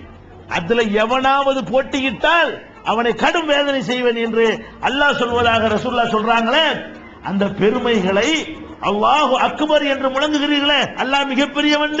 அந்த மிகப்பெரியவன் அல்லாஹ் என்பதற்காக அவனுக்கே சொந்தமாக்கினால் அதுக்கு பேர் குழப்பமா? அதுக்கு பேர் வழிகேடா? அதுக்கு பேர் உங்களுக்கு நரகத்தில் சொல்லக்கூடிய சித்தாந்தமா? இதானுங்க மேட்ரு இதுக்கு தானுங்க கொதிக்கிறாங்க. இதெல்லாம் செய்யாதேப்பான்னு கொதிக்கிறாங்க? இது இறந்தவர்கள் மேட்ரு. இந்த உசுரோட உள்ளவனை வச்சுக்கிட்டு படுத்துற பாடு பாத்தீங்களா? அதான் மேட்ரு. இதுல கூட அவங்க கொதிக்கல. கொதிக்கிறதுக்கு முக்கியமான காரணம் என்னன்னு கேட்டா இந்த இறந்தவர்கள் ஒரு பக்கம் விட்டு தள்ளுங்க. இந்த உசுரோட சில பேர் இருக்கிறாங்க. பெரிய தலப்பா பெரிய ஜிப்பா பெரிய தாடி பெரிய தலை தலண்டு மினுமினுப்பு இது மாதிரியான சில பேர் அலைந்து கொண்டிருக்கிறார்கள். என்ன மாதிரி அலைகிறாங்க நாங்க அல்லாவுடைய வாரிசு. நாங்க அல்லாவுடைய குடும்பத்தாரு. எங்களை பார்த்தாலே பறக்கத்து. எங்களை தொட்டாலே பறக்கத்து. நாங்க சிரிச்சாலே உங்களுக்கு பறக்கத்து. நாங்க ஆட்சி வழங்கினாலும் உங்களுக்கு பறக்கத்து. எங்களை கூட்டி கொண்டு எங்க கடையில உட்கார வச்சாலும் உங்களுக்கு பறக்கத்து. நாங்க ஒரு ஆள் பாத்தியான்னு விட்டா உங்களுக்கு பறக்கத்தா? இப்படின்னு சொல்லி மனுஷனை என்னமோ ஒரு புனித தன்மை உள்ளவரை போல காட்டி ஒரு கூட்டம் ஏமாத்தி கொண்டிருக்கிறது. என்ன ஏமாத்துறது? கடையில வியாபாரமே இருக்காது. அசர்த்து வியாபாரமே இல்ல. நம்மளை கூட்டிக்கிட்டு போய் ஒரு பாத்தியா விடுங்க. வியாபாரம் பிச்சுக்கிட்டு போகும் பாரு. இவன் என்ன செய்வான்? அசரத்தை கூட்டிகிட்டு வந்து அது பாத்தியாமா? கொஞ்சமாச்சும் மூளை இருந்தா நம்ம நல்லா இருக்கும். அசரத்து நம்மளை விட கீழே இருக்காரு. இவர் அல்பாத்தியா போது இவர் பணக்காரனவா காணாம ஒரு அசரத்துக்கு பங்களா இல்லையே. ஒரு அசரத்து நீச்சல் குளத்துல இல்லையே. ஒரு அசரத்துக்கும் தொழிற்சாலையை காணாம ஒரு அசரத்துலையும் தோல் மண்டி இல்லையே. ஒரு அசரத்தால் பாத்தியா தானே ஓதுறாரு. ஒவ்வொரு அசரத்தும் கையத்தான ஈட்டுறாரு. இதுலயே இவன் தரத்தில் நல்லா விளங்குது. இதை சிந்திக்க மாட்டீங்களா? அசர்த்து வந்து உங்கள்ட்ட அந்த பாத்தியாண்டவன உங்களுக்கு பிச்சுக்கிட்டு போயிருமா? அப்படி பிச்சுக்கிட்டு போயிரும்னா அதையும் அவர் தனக்கு செஞ்சுக்கிறல. ஏன் ஒன்னே கார் ரூபாய்க்கு ஓண்ட கையேந்துறாரு? பதினோரு ரூபாய்க்கு ஏன் பிச்சை எடுக்கிறாரு? முத்தவள்ளி கிட்ட ஏன் அப்படி நிக்கிறாரு? அல்லாஹ் நிக்கிற மாதிரி. அஹ், நல்லா இருந்தா இவர் நிமிர்ந்து பேச வேண்டியதானே முத்தவள்ளியை கண்டா இப்படி. சொல்லுங்க சொல்லுங்க. ஏறின மெம்பர்ல இறங்கும் இறங்கும் பாரு முத்துவள்ளி. மெம்பர்ல ஏறின அசத்தின செய்வாரு குடுக்குன்னு இறங்கிடுறாரு. அப்ப இந்த மாதிரி ஒண்ணும் இல்லாம உன்னை ஆக்கி வச்சிருக்கான அல்ல. கண்ணு முன்னாடி தெரியுது. ஒரு அசரத்து பணக்கார அசரத்தா காணும் நானும் பார்த்து விட்டேன். தேடி தேடி பார்த்து விட்டேன். இந்த அசரத்துல யார் இதெல்லாம் வேணான்னு தொழில்துறைக்கு போனானோ அப்படி நாலு அசரத்து வேண்டாம் நல்லா இருக்காங்களே தவிர இந்த அசர்த்தாவும் இருந்துகிட்டு பாத்தியாவும் ஓதிக்கிட்டு கத்தமும் ஓதிக்கிட்டு நூலும் முடிஞ்சுக்கிட்டு ஒரு கோடீஸ்வரனை பார்க்கவே இல்லை. ஏன்? நீ கோடீஸ்வரனா போறதுக்கு ஒரு தாயத்து பெரிய தாயத்து நீ போட வேண்டியதானே எங்களுக்கு தாயத்தை போட்டு வியாபாரத்தை உண்டாக்குற நீ எங்களுக்கு பிரேம் பண்ணி மாட்ட சொல்லி பறக்கத்தை உண்டாக்குற நீ உன் உள்ள ஒண்ணு மாட்ட வேண்டியதானே பொய். கண்ணுக்கு முன்னாடி பளிச்சுன்னு தெரியுது. இப்படி நம்மள மாதிரி உள்ள மனிதர்கள் தெரிந்து கொண்டு ஏமாத்துறாங்கன்னு தெரிந்து கொண்டு நம்ம என்ன செய்யறோம்? அசரத்துனா நம்ம புனிதம் நினைக்கிறோம். அவர் வந்துட்டு போங்க உட்காருங்க அசரத்தை உங்களுக்கு. கல்லா உலகத்துக்கு அவர் உட்கார வச்சிருவாங்க கேஸ்ல. ஏறு வந்த ஒரு அசரத்து வந்தவனே முதலாளி எந்திரிச்சுக்கிறாரு அசரத்து உட்காருங்க கேசில உட்காருங்க. எதுக்கு? எடுத்துக்கிறது பாக்கெட்ல போட்டாம இருக்கணும். அந்த லட்சத்துல அவர் இருக்காரு. அவர் லட்சம் இருக்கு அவர் போய் அந்த சீட்ல உட்கார்ந்தா வியாபாரம் நடக்குமா? புது கணக்கு போடுறது அவர் தான் எழுதுவார். பிசுமில்லா மஞ்சளை தொட்டுக்கிட்டு பிசுமில்லா போடணும். அப்பதான் புது கணக்கு பிச்சுக்கிட்டு போகும் ஏன்னா கொஞ்சமா சிந்திக்க மாட்டீங்களா? அசல் இப்படிலாம் நம்ம மனுஷன் அப்படி நம்பலாமா? அவர் பணக்காரன் ஆக்கிறதுக்கு அதிகாரம் படைச்சவரா? இப்படி நம்ம நம்பக்கூடிய இதெல்லாம் தவறுன்னு சொல்றோம். அடுத்து என்ன செய்யறோம்? அசரத்துமார்களை வந்து கையை கொடுத்து முறியுது. உங்க உங்க மாவட்டத்தில் ரொம்ப அதிகமா சீரழிஞ்சு நாசமா போறது காரணம் என்ன? இந்த முறியுது. முறியுதுன்னா என்ன? அவர் வந்து அல்லாட்ட வந்து பக்கு- பக்குவம் பெற்றுட்டாராம். அவர் கையோடு நம்ம கையை கொண்டு இப்படி சொ- வைங்கள வைங்களேன் பவர் ஏத்திருவாராம். யாருக்கு? அவர்கிட்ட இருக்கிற பவரை நமக்கு ஏத்திருவாராம். அப்படின்னு சொல்லி நம்ப வச்சு முடியுதுன்னு போய் அவர் என்ன சொன்னாலும் கேட்கணும் ஆக்கி கடைசியில் என்ன பண்ணுவாரு? இந்த கூட்டம் போடுறாங்க. அதை போய் அடினோட ஒளியாந்துருவாங்க எப்படி மூளை செலவு ஆயிடுது அந்த ஆள் என்ன சொன்னாலும் செய்யறதுங்கிற அளவுல மூளையை அடகு வச்சுட்டு இப்படி ஒரு மனுஷனுக்கு பின்னாடி ஓடுறாங்க. நான் கேட்கிறேன் இப்படி ஒரு மனுஷன் இன்னொரு மனுஷனுக்கு பவர் ஏத்துறன்னு இஸ்லாத்துல ஏதாவது இருக்குதா? பார்த்தா பவர் ஏறுமா? தொட்டா பவர் ஏறுமா? நபிகள் அப்படி இருந்தா ரசூல்லா பவர் ஏத்திருக்கணும்ல. நபிகள் நாயகம் சல்லா அலி செல்லம் அவர்களை தொட்டு தூக்கி வளர்த்து ஆளாக்குனவர் யாரு? யாரு? பாப்பா தகப்பனார் சின்ன தாய் வயிற்றுல இருக்கும்போது தகப்பனார் போயிட்டாருங்க. பாட்டனாரும் சின்ன வயசுல போயிட்டாரு. நபிகள் நாயகத்தை அதுக்கு பிறகு வளர்த்தவர் யாரு? அபு தாலிப் பெரிய பாப்பா. அவர் தான் தோல்ல சுமந்தாரு. அவர் தான் வியாபாரத்தை கத்து கொடுத்தாரு. அவர் தான் ஒரு அவங்கள ஒரு ஆளாக்குனாரு. அவர் தான் கல்யாணம் பண்ணி வச்சாரு. எல்லா வகையிலையும் நபிகள் நாயகத்துக்கு உறுதுணையா இருந்தவர் யாரு? அபு தாலிப். அவரை பல தடவை தோல்ல சுமந்தவர். அவருக்கு நேர்வழி கிடைச்சா? அவர் அல்லாவை ஏத்துக்கிட்டாரா? அவர் இஸ்லாத்துக்கு வந்து மௌத்தா போனாரா? இல்ல. சக்கராத்து நேரம் அபு தாலிபுக்கு நபிகள் நாயகம் வஸல்லம் போய் அவரை சந்திக்கிறாங்க. பெரிய தந்தையே நடந்து நடந்துட்டு போகுது. சாவ கிடக்குறீங்க. அல்லாஹ் ஏத்துக்கிறங்க. இந்த கல் மண்ணெல்லாம் கடவுள் ஒத்துக்கிறங்க. ஒரு இறைவன் தான் லாயிலாக இல்லலான்னு சொல்லுங்க. உங்களுக்காக நான் அல்லாட்ட பேசுறேன். அதை சொல்லலைன்னா என்னால் ஒண்ணும் பண்ண இயலாது. அப்படிங்கிறாங்க. பக்கத்தில் அபூஜைகள் இருக்கலாம் அவனும் வந்துட்டான். கேள்விப்பட்ட எதுக்கு? அவன் தாவா பண்றதுக்கு. ரசூல் சல்லா அலிஸ்லாம் ஒரு பக்கம் தாவா பண்றாங்க. அவன் என்ன செய்யறான்? அவன் கொள்கைக்கு அ- அழைக்கிறதுக்காக அவன் வந்து உட்கார்ந்துட்டு இருக்கான். அவன் சொல்றான் ஏய் சொல்லிவிடாது. உங்க அப்பன் பாட்டனை ஞாபகம் வச்சுக்க. அப்துல் முத்தலிப் எந்த கொள்கையில் இருந்தாரு? அப்துல் முனாப் எந்த கொள்கையில் இருந்தாரு? ஹாஷிம் எந்த கொள்கையில் இருந்தாரு? அதை மறந்துடாதே அப்படின்னு சொல்லி அபூ உட்கார்ந்து என்ன செய்யறான்? பக்கத்துல எங்கிட்டு சாவி கொடுக்குறான். ரசூல்லா உட்கார்ந்துகிட்டு என்ன செய்யறாங்க? ஏய் லாய் இலாஹ சொல்லுங்கிறாங்க. இப்படி இப்படி தடுமாறுறாரு. கடைசியில் மூத்தா போகும்போது என் அப்பன் பாட்டன் எந்த கொள்கையில இருந்து நாசமா போனாங்களோ அதுல நானும் போறேன் முடிஞ்சு வச்சா கதை? ஏத்துக்கிற மாட்டேன்ட்டாரு. ரசூல் சல்லா அலி செல்லம் போய் பெரிய வாப்பாக்கு இவ்வளவு பெரிய அத்தாவுக்கு பெரிய பாபாவுக்கு இவ்வளவு அக்கறையோட சொல்லியும் கூட அந்த வார்த்தை உள்ளத்துல போகல அப்ப எப்படி ஷேக் சொன்னா போகும் அல்லாவுடைய ரசூல் சொன்னது போகல ரசூலுடைய பெரிய வாப்பாக்கே போகல அக்கறையோட சொல்லி போகல அந்த மாதிரி ரசூல்லா கைனால தொட்டு சொல்லி போகல அவ்வளவு சொல்லியும் ரசூல் ரசூல்லா சொன்ன அந்த களிமா எங்க போகல அபு தாலிப் உள்ளத்துக்கு போகல. காபிரா இறந்து விடுகிறார். ரசூல்லாவுக்கு தாங்க இல்ல.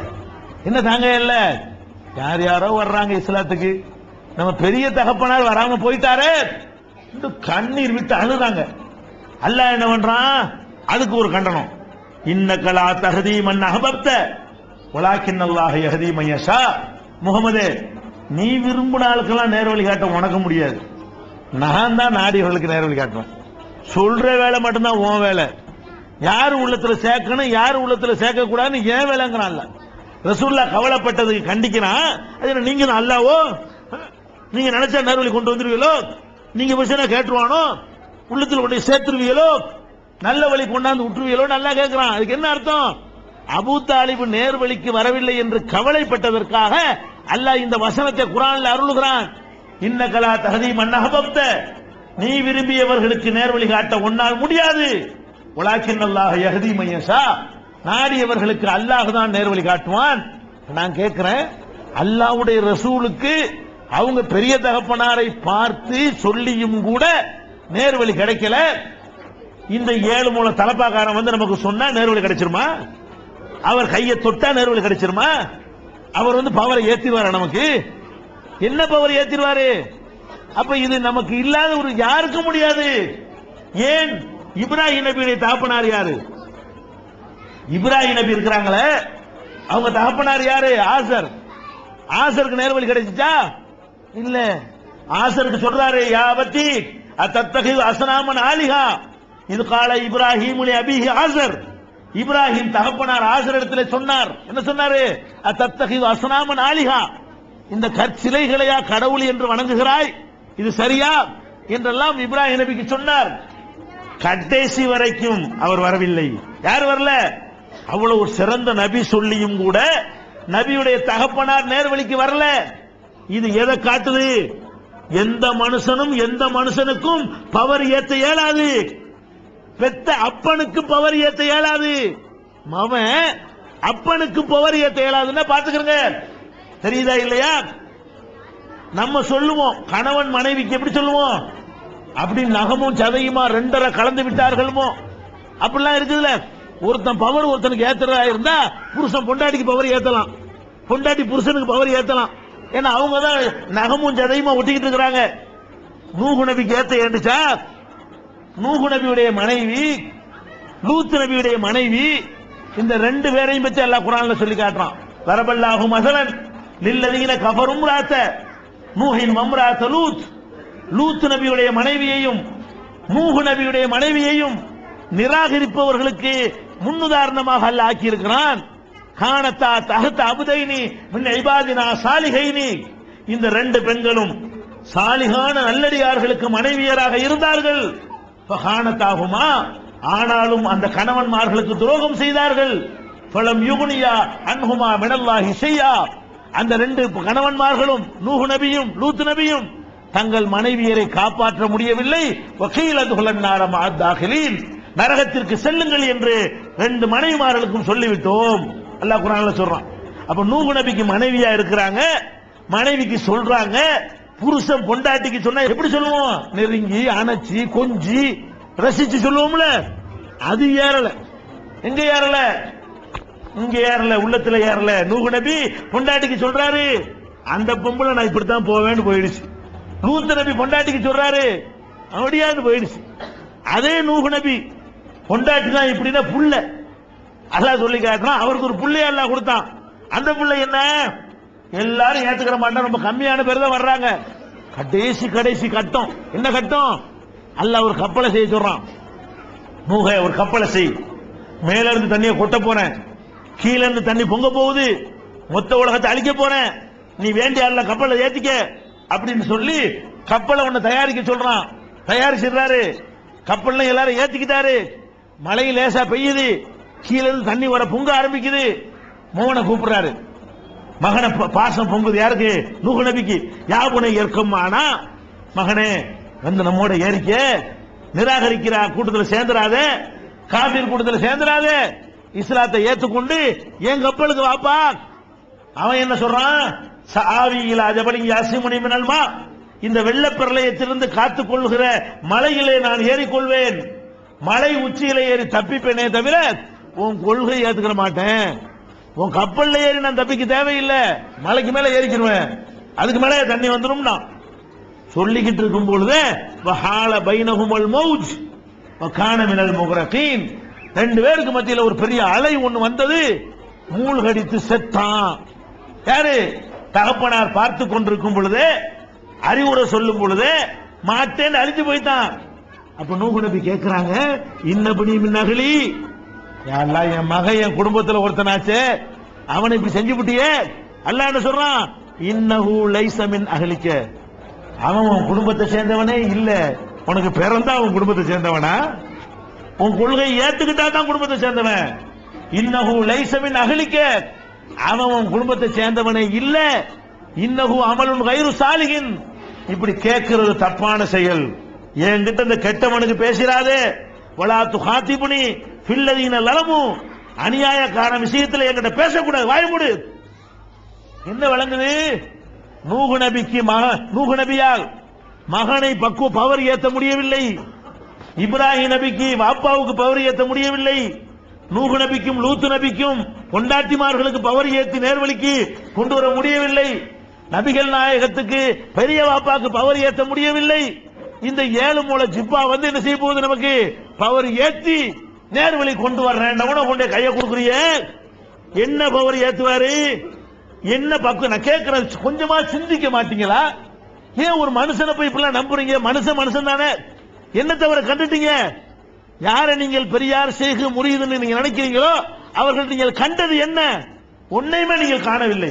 எதை கண்டீங்க? தலப்பாவை கண்டீர்கள் ஜிப்பாவை கண்டீர்கள் மனிதத்தன்மைக்கு அப்பாற்பட்ட வேற என்னத்தை கண்டீர்கள்?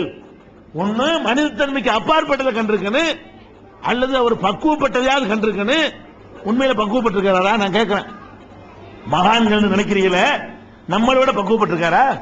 நம்ம என்ன செய்வோம்? கஞ்சியும் குடிப்போம். கூழையும் குடிப்போம் கிழிஞ்ச சட்டையும் போட்டுக்கிருவோம் இப்படி தரையிலையும் உட்காருவோம் எப்படி வேணாலும் படம் தூங்குவோம் பஸ்லையும் போவோம் கடைகள் நடந்தும் போவோம் ஆட்டோலையும் போவோம். இது நம்ம. இந்த மகானு மகான் எப்படி? ஊர்லயே நல்ல பணக்கான யாரு? எங்க போய் திம்பாக திங்கிறது எங்க? எங்க திம்பாரு மகானு? எந்த மகானாச்சு? ஊர்ல எங்க ஓலை குடிசை இருக்குன்னு பார்த்து கூழ் இருக்குதா? பழைய சோறு இருக்கான்னு கேட்டு வாங்கி தின்ற மகான் இருக்காரா? இந்த செய்குன்னு சொல்லி வர்றாங்களே செய்கு இந்த செய்கு தங்குற இடம் எது? ஊர்ல எவன் பெரிய பணக்காரன். ஊர்ல பெரிய கோடீஸ்வரன் யாரு? என்ன? அங்க இருந்து வகையா தருமா? உன் நாக்க கட்டுப்படுத்த தெரியும் நீ வந்து பக்குவப்பட்டியா? அட்டை ஏன் நாக்க கட்டுப்படுத்துற அளவுக்கு உன் நாக்க உன கட்டுப்படுத்த ஏழுமா நீங்க பக்குவப்பட்டிருக்கிறீங்க. அவன் பக்குவப்படவே இல்ல. அவன் அலைகிறான் நாக்க தொங்க போட்டுக்கிட்டு ஆறு சுவை பத்தால் அறுபது சுவை கிடைக்குமான்னு என்ன செய்யறான்? அலைகிறான் வெறும் பாயில படுத்து தூங்குவீங்க. ஒன்றரை முழத்து குசன் குஷன் போட்டாலும் தூக்கம் வரும் அவனுக்கு. நீங்க வெட்ட வெயில்ல படுப்பீங்க. அவர் ஏசி வேணும் இருக்கா? இவெல்லாம் செய்கா இவெல்லாம் உங்களை பக்குவப்படுத்துவோம் என்ன பக்குவப்பட்டாரு? நப்ச கட்டுப்படுத்த தெரியாம அலைகிறான் பணக்காரனுக்கு பின்னாடி அலைகிறான் அவன்லாம் எல்லாம் செய்கன்னு போய் முறியது வாங்குறீங்க. இது என்ன நியாயம்? இது மார்க்கமா? எப்படி இந்த மாதிரி சொன்னா இந்த இஸ்லாத்தை ஏன் விரும்புவான்? ஏன் வரமாட்டேங்கிறான்னு விளங்குதா உங்களுக்கு? அன்னைக்கு வந்த மாதிரி இன்னைக்கு முஸ்லீம் அல்லாத மக்கள் ஏன் இஸ்லாத்துக்கு வரமாட்டேங்கிறாங்க? இதை பார்த்தா ஒரு வித்தியாசமும் தெரியல. இது மாதிரி எங்கிட்ட நிறைய இருக்குங்கிறான் நீங்க இப்படி காட்டினா எத்தனை எத்தனை சீக்கிரம் வச்சுக்கிறீங்க? நாலு பேர் காட்டுவீங்களா? எங்கிட்ட நாலாயிரம் இருக்குன்றான் அவன்கிட்ட சொன்னீங்கன்னா இதுக்கு மேல அவன் வச்சிருக்கானே உங்களெல்லாம் தாண்டி இருக்கிறான அவன்கிட்ட சேகு மகான்ட்டு நிறைய வச்சுக்கிறானுல அப்ப இந்த மாதிரியான ஒரு அடிப்படையில பக்குவப்படாத நப்சுல அடக்க தெரியாதவர்களை நீங்கள் மகான்கள் என்று கொஞ்சுகிறீர்கள். அவர்கள்ட்ட போய் ஆசி வாங்குறீங்க. நீங்க கொஞ்சம் யோசிச்சு பாருங்க. மகான் தானே அவரு? மகான். மகான் தான் எல்லா சக்தியும் உள்ளவர். எந்த மகானாச்சு இந்த சுனாமி வந்துச்சுல. சுனாமி வந்த இடத்துக்கு போய் அந்த மக்கள் எல்லாம் பார்த்து என்ன வேண்டும்?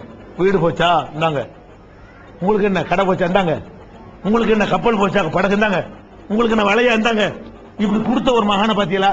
இவங்க எங்க போனாங்கன்னு கேட்டேன். அடே சுனாமியால் மக்கள் பாதிக்கப்பட்டாங்களே அங்க போய் மகான் பவரை காட்டி யார் யாருக்கு வலை போனதோ என்னிடத்துல வலையை வாங்கி கொள்ளுங்கள். யார் யாருக்கு படகு போனதோ அவர்கள் இடத்துல நாங்க ஏன் நிதி திரட்டுறோம்? மகான் நாலு மகான் இப்படி இருந்து இறங்கி இருந்தாங்கன்னு சொன்னா நம்ம நிதி திரட்டுவோமா? எல்லா மகானுகளும் என்ன பண்றாங்க? வாங்கித்தான் திங்கிறானுவோ. கொடுக்கிற மகானை நான் பார்க்கவே இல்லை. என் வாழ்நாள்ல ஏழைபாளைகளுக்கு இப்படி பணக்காரன்ட்டு இன்னும் சொல்ல போனா இந்து மதத்துல நான் பாக்குறேன் கிறிஸ்துவ மதத்துல பாக்குறேன் மக்கள் இப்படி ஏமாத்தி சம்பாதிக்கிறாங்க செலவழிக்கிறாங்க. சாய்பாபா அப்படி பண்ற அப்படி பண்றேன்னு சொல்லி அந்த மக்கள்கிட்ட சம்பாதிக்கிறாரு. சம்பாரிச்சு மெடிக்கல் காலேஜ் கட்டிருக்காரு சம்பாரிச்சு இலவச மருத்துவமனை கட்டிருக்காரு சம்பாரிச்சு நான் வந்து கங்கை காவிரி எனக்கிட்டமான்னு கேட்கிறாரு சென்னை குடிநீர் பஞ்சத்தை நான் தீக்கட்டான்னு கேட்கிறாரு அவர் மக்கள்கிட்ட அப்படி இப்படி கேட்டு மேஜிக் மேஜிக் தான் பண்றாரு. மேஜிக்கில் அதில் செஞ்சு பணக்காரன்ட்ட வாங்குறாரு. வாங்கின பணத்தையாவது ஏழைக்கு அதுல இருந்து கொஞ்சம். அதுல இருந்து கொஞ்சம் செலவழிக்கிறார். அவர் செய்யறாரு அதே மாதிரி நம்ம பங்கார அடிகளார் இருக்காரு. அவர் மக்கள்கிட்ட வாங்குறாரு. வந்தா என்ன செய்யறாரு மேல்மருவத்திற்கு போனோம்னா அது காலேஜ் என்ன அது என்ன இது என்ன? ஏழைகளுக்கு ஃப்ரீ இந்த மாதிரி ஒரு செய்கை எனக்கு காட்டுங்க. ஒரு செய்கை. பணக்காரன் போய் வாங்குறீங்களா பணத்தை? ஒரு இருபத்தஞ்சு திண்டு தொலை. ஒரு எழுபத்தஞ்சு குடும்பண்டா ஏழைகளுக்கு மனசாச்சாரு எத்தனை காலேஜ் கட்டின? எத்தனை அனாதை விடுத்து கட்டிருக்கிற எத்தனை ஏழை குமருக்கு வாரி வழங்கி இருக்கிற இவன் மகானா? எவ்வளவு பத்த மாட்டேங்குதுங்க. அவங்க தேவையில்லைங்க. அவன்கிட்ட போய் முறிவாங்களே இப்ப. அவனாச்சும் பக்குவப்பட்டிருக்கானே. பாதி நம்ம வச்சுக்கிருவோம். பாதி அடுத்தவனுக்கு கொடுப்போங்கிறானே. அடுத்தவனுக்கு கூட கொடுக்காதவர்கள் எல்லாம் மகான்களா? அப்ப இந்த மாதிரி பாதிக்கப்பட்ட இடத்துல சினிமா நடிகை கொண்டாந்து கொடுக்கான் வேற அவன்? விவேக் ஓபராயின்னு ஒருத்தன் அங்கிருந்து கேள்விப்பட்டு பம்பாயில இருந்து கேள்விப்பட்டு சுனாமி பா- தேவனாம்பட்டினத்துல வந்து யார் யாருக்குடா பாதிப்புன்னு சொல்லி நான் வீடு கட்டி தர்றேன். கப்பல் யாரு? சினிமா நடிகை சினிமா நடிகை பக்குவப்பட்டிருக்கிறான். நம்ம இருக்கிற காசை என்ன செய்வோம்? பாதிக்கப்பட்ட மக்களுக்கு கொடுப்போம்னு சொல்லி என்ன பண்றான். மகான் இப்படி நடக்கிற காட்சி. அப்ப இந்த மகானுங்க அவ்வளவும் பித்தலாட்டம் அவ்வளவும் பிராடு எந்த ஒரு இறைத்தன்மை உங்கள்கிட்ட கிடையாது. அப்ப இதெல்லாம் தவறு என்று நாங்கள் சொல்கிறோம். அதே போல மதுகபி என்ற பெயரால் சாதி ஹனபி மாலிக் என்று பிரிந்து கிடக்கிறீர்கள். இது தப்பு என்று சொல்கிறோம். தரிகா என்ற பெயரால் கிறிஸ்தியாக சூரவர்தியா நக்சபந்தியா அந்த காதிரியா சாதிலியா. இதுகளை தவறு என்று சொல்கிறோம். தொழுகை முறையிலிருந்து நோம்பு முறையிலிருந்து குரானுக்கு மாற்றமான காரியங்களை செய்கிறீர்கள். அதை தவறு என்று சொல்கிறோம். பெண்கள்கிட்ட கசைக்கு கசக்கி பிழிந்து வரதட்சணை வாங்குகிறீர்கள். அதை திருத்துவதற்காக வரதட்சணை வாங்காதீங்க என்று சொல்றோம். மகர் கொடுக்கக்கூடிய உணர்வை ஊட்டுகிறோம். ஆயிரக்கணக்கான பேர் மகர் கொடுத்து திருமணம் முடிக்கக்கூடிய நிலைமை ஏற்படுத்தி இருக்கிறோம் வாங்கின வரதட்சணை திருப்பி கொடுக்கக்கூடிய இளைஞர்களை உண்டாக்கி இருக்கிறோம் சினிமா நடிகர்களுக்கு பின்னால் ஓ ரசிகர் மன்றம் அமை- அமைத்துக் கொண்டிருந்தவர்களை எல்லாம் இன்னைக்கு பள்ளிவாசல் பக்கம் திருப்பி இருக்கிறோம். அன்னைக்கெல்லாம் 75 வயசுக்காரன் தொழுவு வருவான். இன்னைக்கு 25 வயசுக்காரன் இருபது வயசுக்காரன்லாம் பள்ளியில வந்து நிறைக்கக்கூடிய நிலைமை ஏற்படுத்தி இருக்கிறோம். சமுதாயத்திற்காக போராடக்கூடியவர்கள் உண்டாக்கி இருக்கிறோம். இ- மக்களுடைய நன்மைக்காக உழைக்கக்கூடியவர்கள் உண்டாக்கி இருக்கிறோம். இப்படி பல பணிகளை விரிவான முறையில செய்யக்கூடியதுதான் தமிழ்நாடு தௌஹி ஜமாத். இது சுபு வரைக்கும் சொல்லணும். இருந்தாலும் அறிவுடைய மக்களுக்கு இது போதுமானது. நீங்கள் நியாய உணவோடு சிந்திக்க வேண்டும். நடுநிலையோடு சிந்திக்க வேண்டும். மறுமையிலே வெற்றி பெறுவதற்குரிய வழிமுறை என்ன என்பதை நீங்கள் ஆராய வேண்டும். ஆராய்ந்து எது சரியானதோ? அல்லாஹ் குர்ஆன்ல சொல்லி காட்டுகிறான் அல்லது யஸ்தமியூன கவுல ஃபயத்தமியூன அஹ்சனா. சொல்லுகிற சொல்லை கேட்டு அழகானதை எடுத்துக்கொள்வார்களே. அவர்களுக்கு நற்செய்தி சொல்லுங்கள் என்று அல்லாஹ் சொல்லி காட்டுகிறான். அந்த மாதிரி நாம் சொன்ன இந்த செய்திகள்ல நல்ல விஷயங்கள் உங்களுக்கு தென்படுமையானால் அல்லாவுக்கு பயந்து அந்த சத்தியத்தை ஏற்றுக்கொள்ளுங்கள். மற்றவர்களிடம் எடுத்துச் செல்லுங்கள். நம்முடைய சகோதரர்கள் நம்ம நரகத்தில் தப்பிச்ச மாதிரி நம்முடைய சகோதரர்கள் நரகத்திற்கு செல்லாமல் தப்பிக்க வேண்டும் என்பதற்காக பாடுபடுங்கள். இந்த அல்லாவுடைய ரசூல் நம் மீது சுமத்திய இந்த சுமையை மற்றவங்களுக்கு எடுத்து சொல்லணுங்கிற சுமையை பொறுப்போடு ஏற்றுக்கொண்டு அடுத்தவர்களுக்கு சொல்லக்கூடியவர்களாக அது உங்களுடைய வேலை திட்டத்தில் ஒன்றாக ஆக்கிக் கொள்ளுங்கள் என்று கூறி இந்த வாய்ப்புக்கு நன்றி கூறியை நிறைவு செய்கிறேன். ஆகிருதாவானா அனில் அஹமதுல்லாஹி ரபில்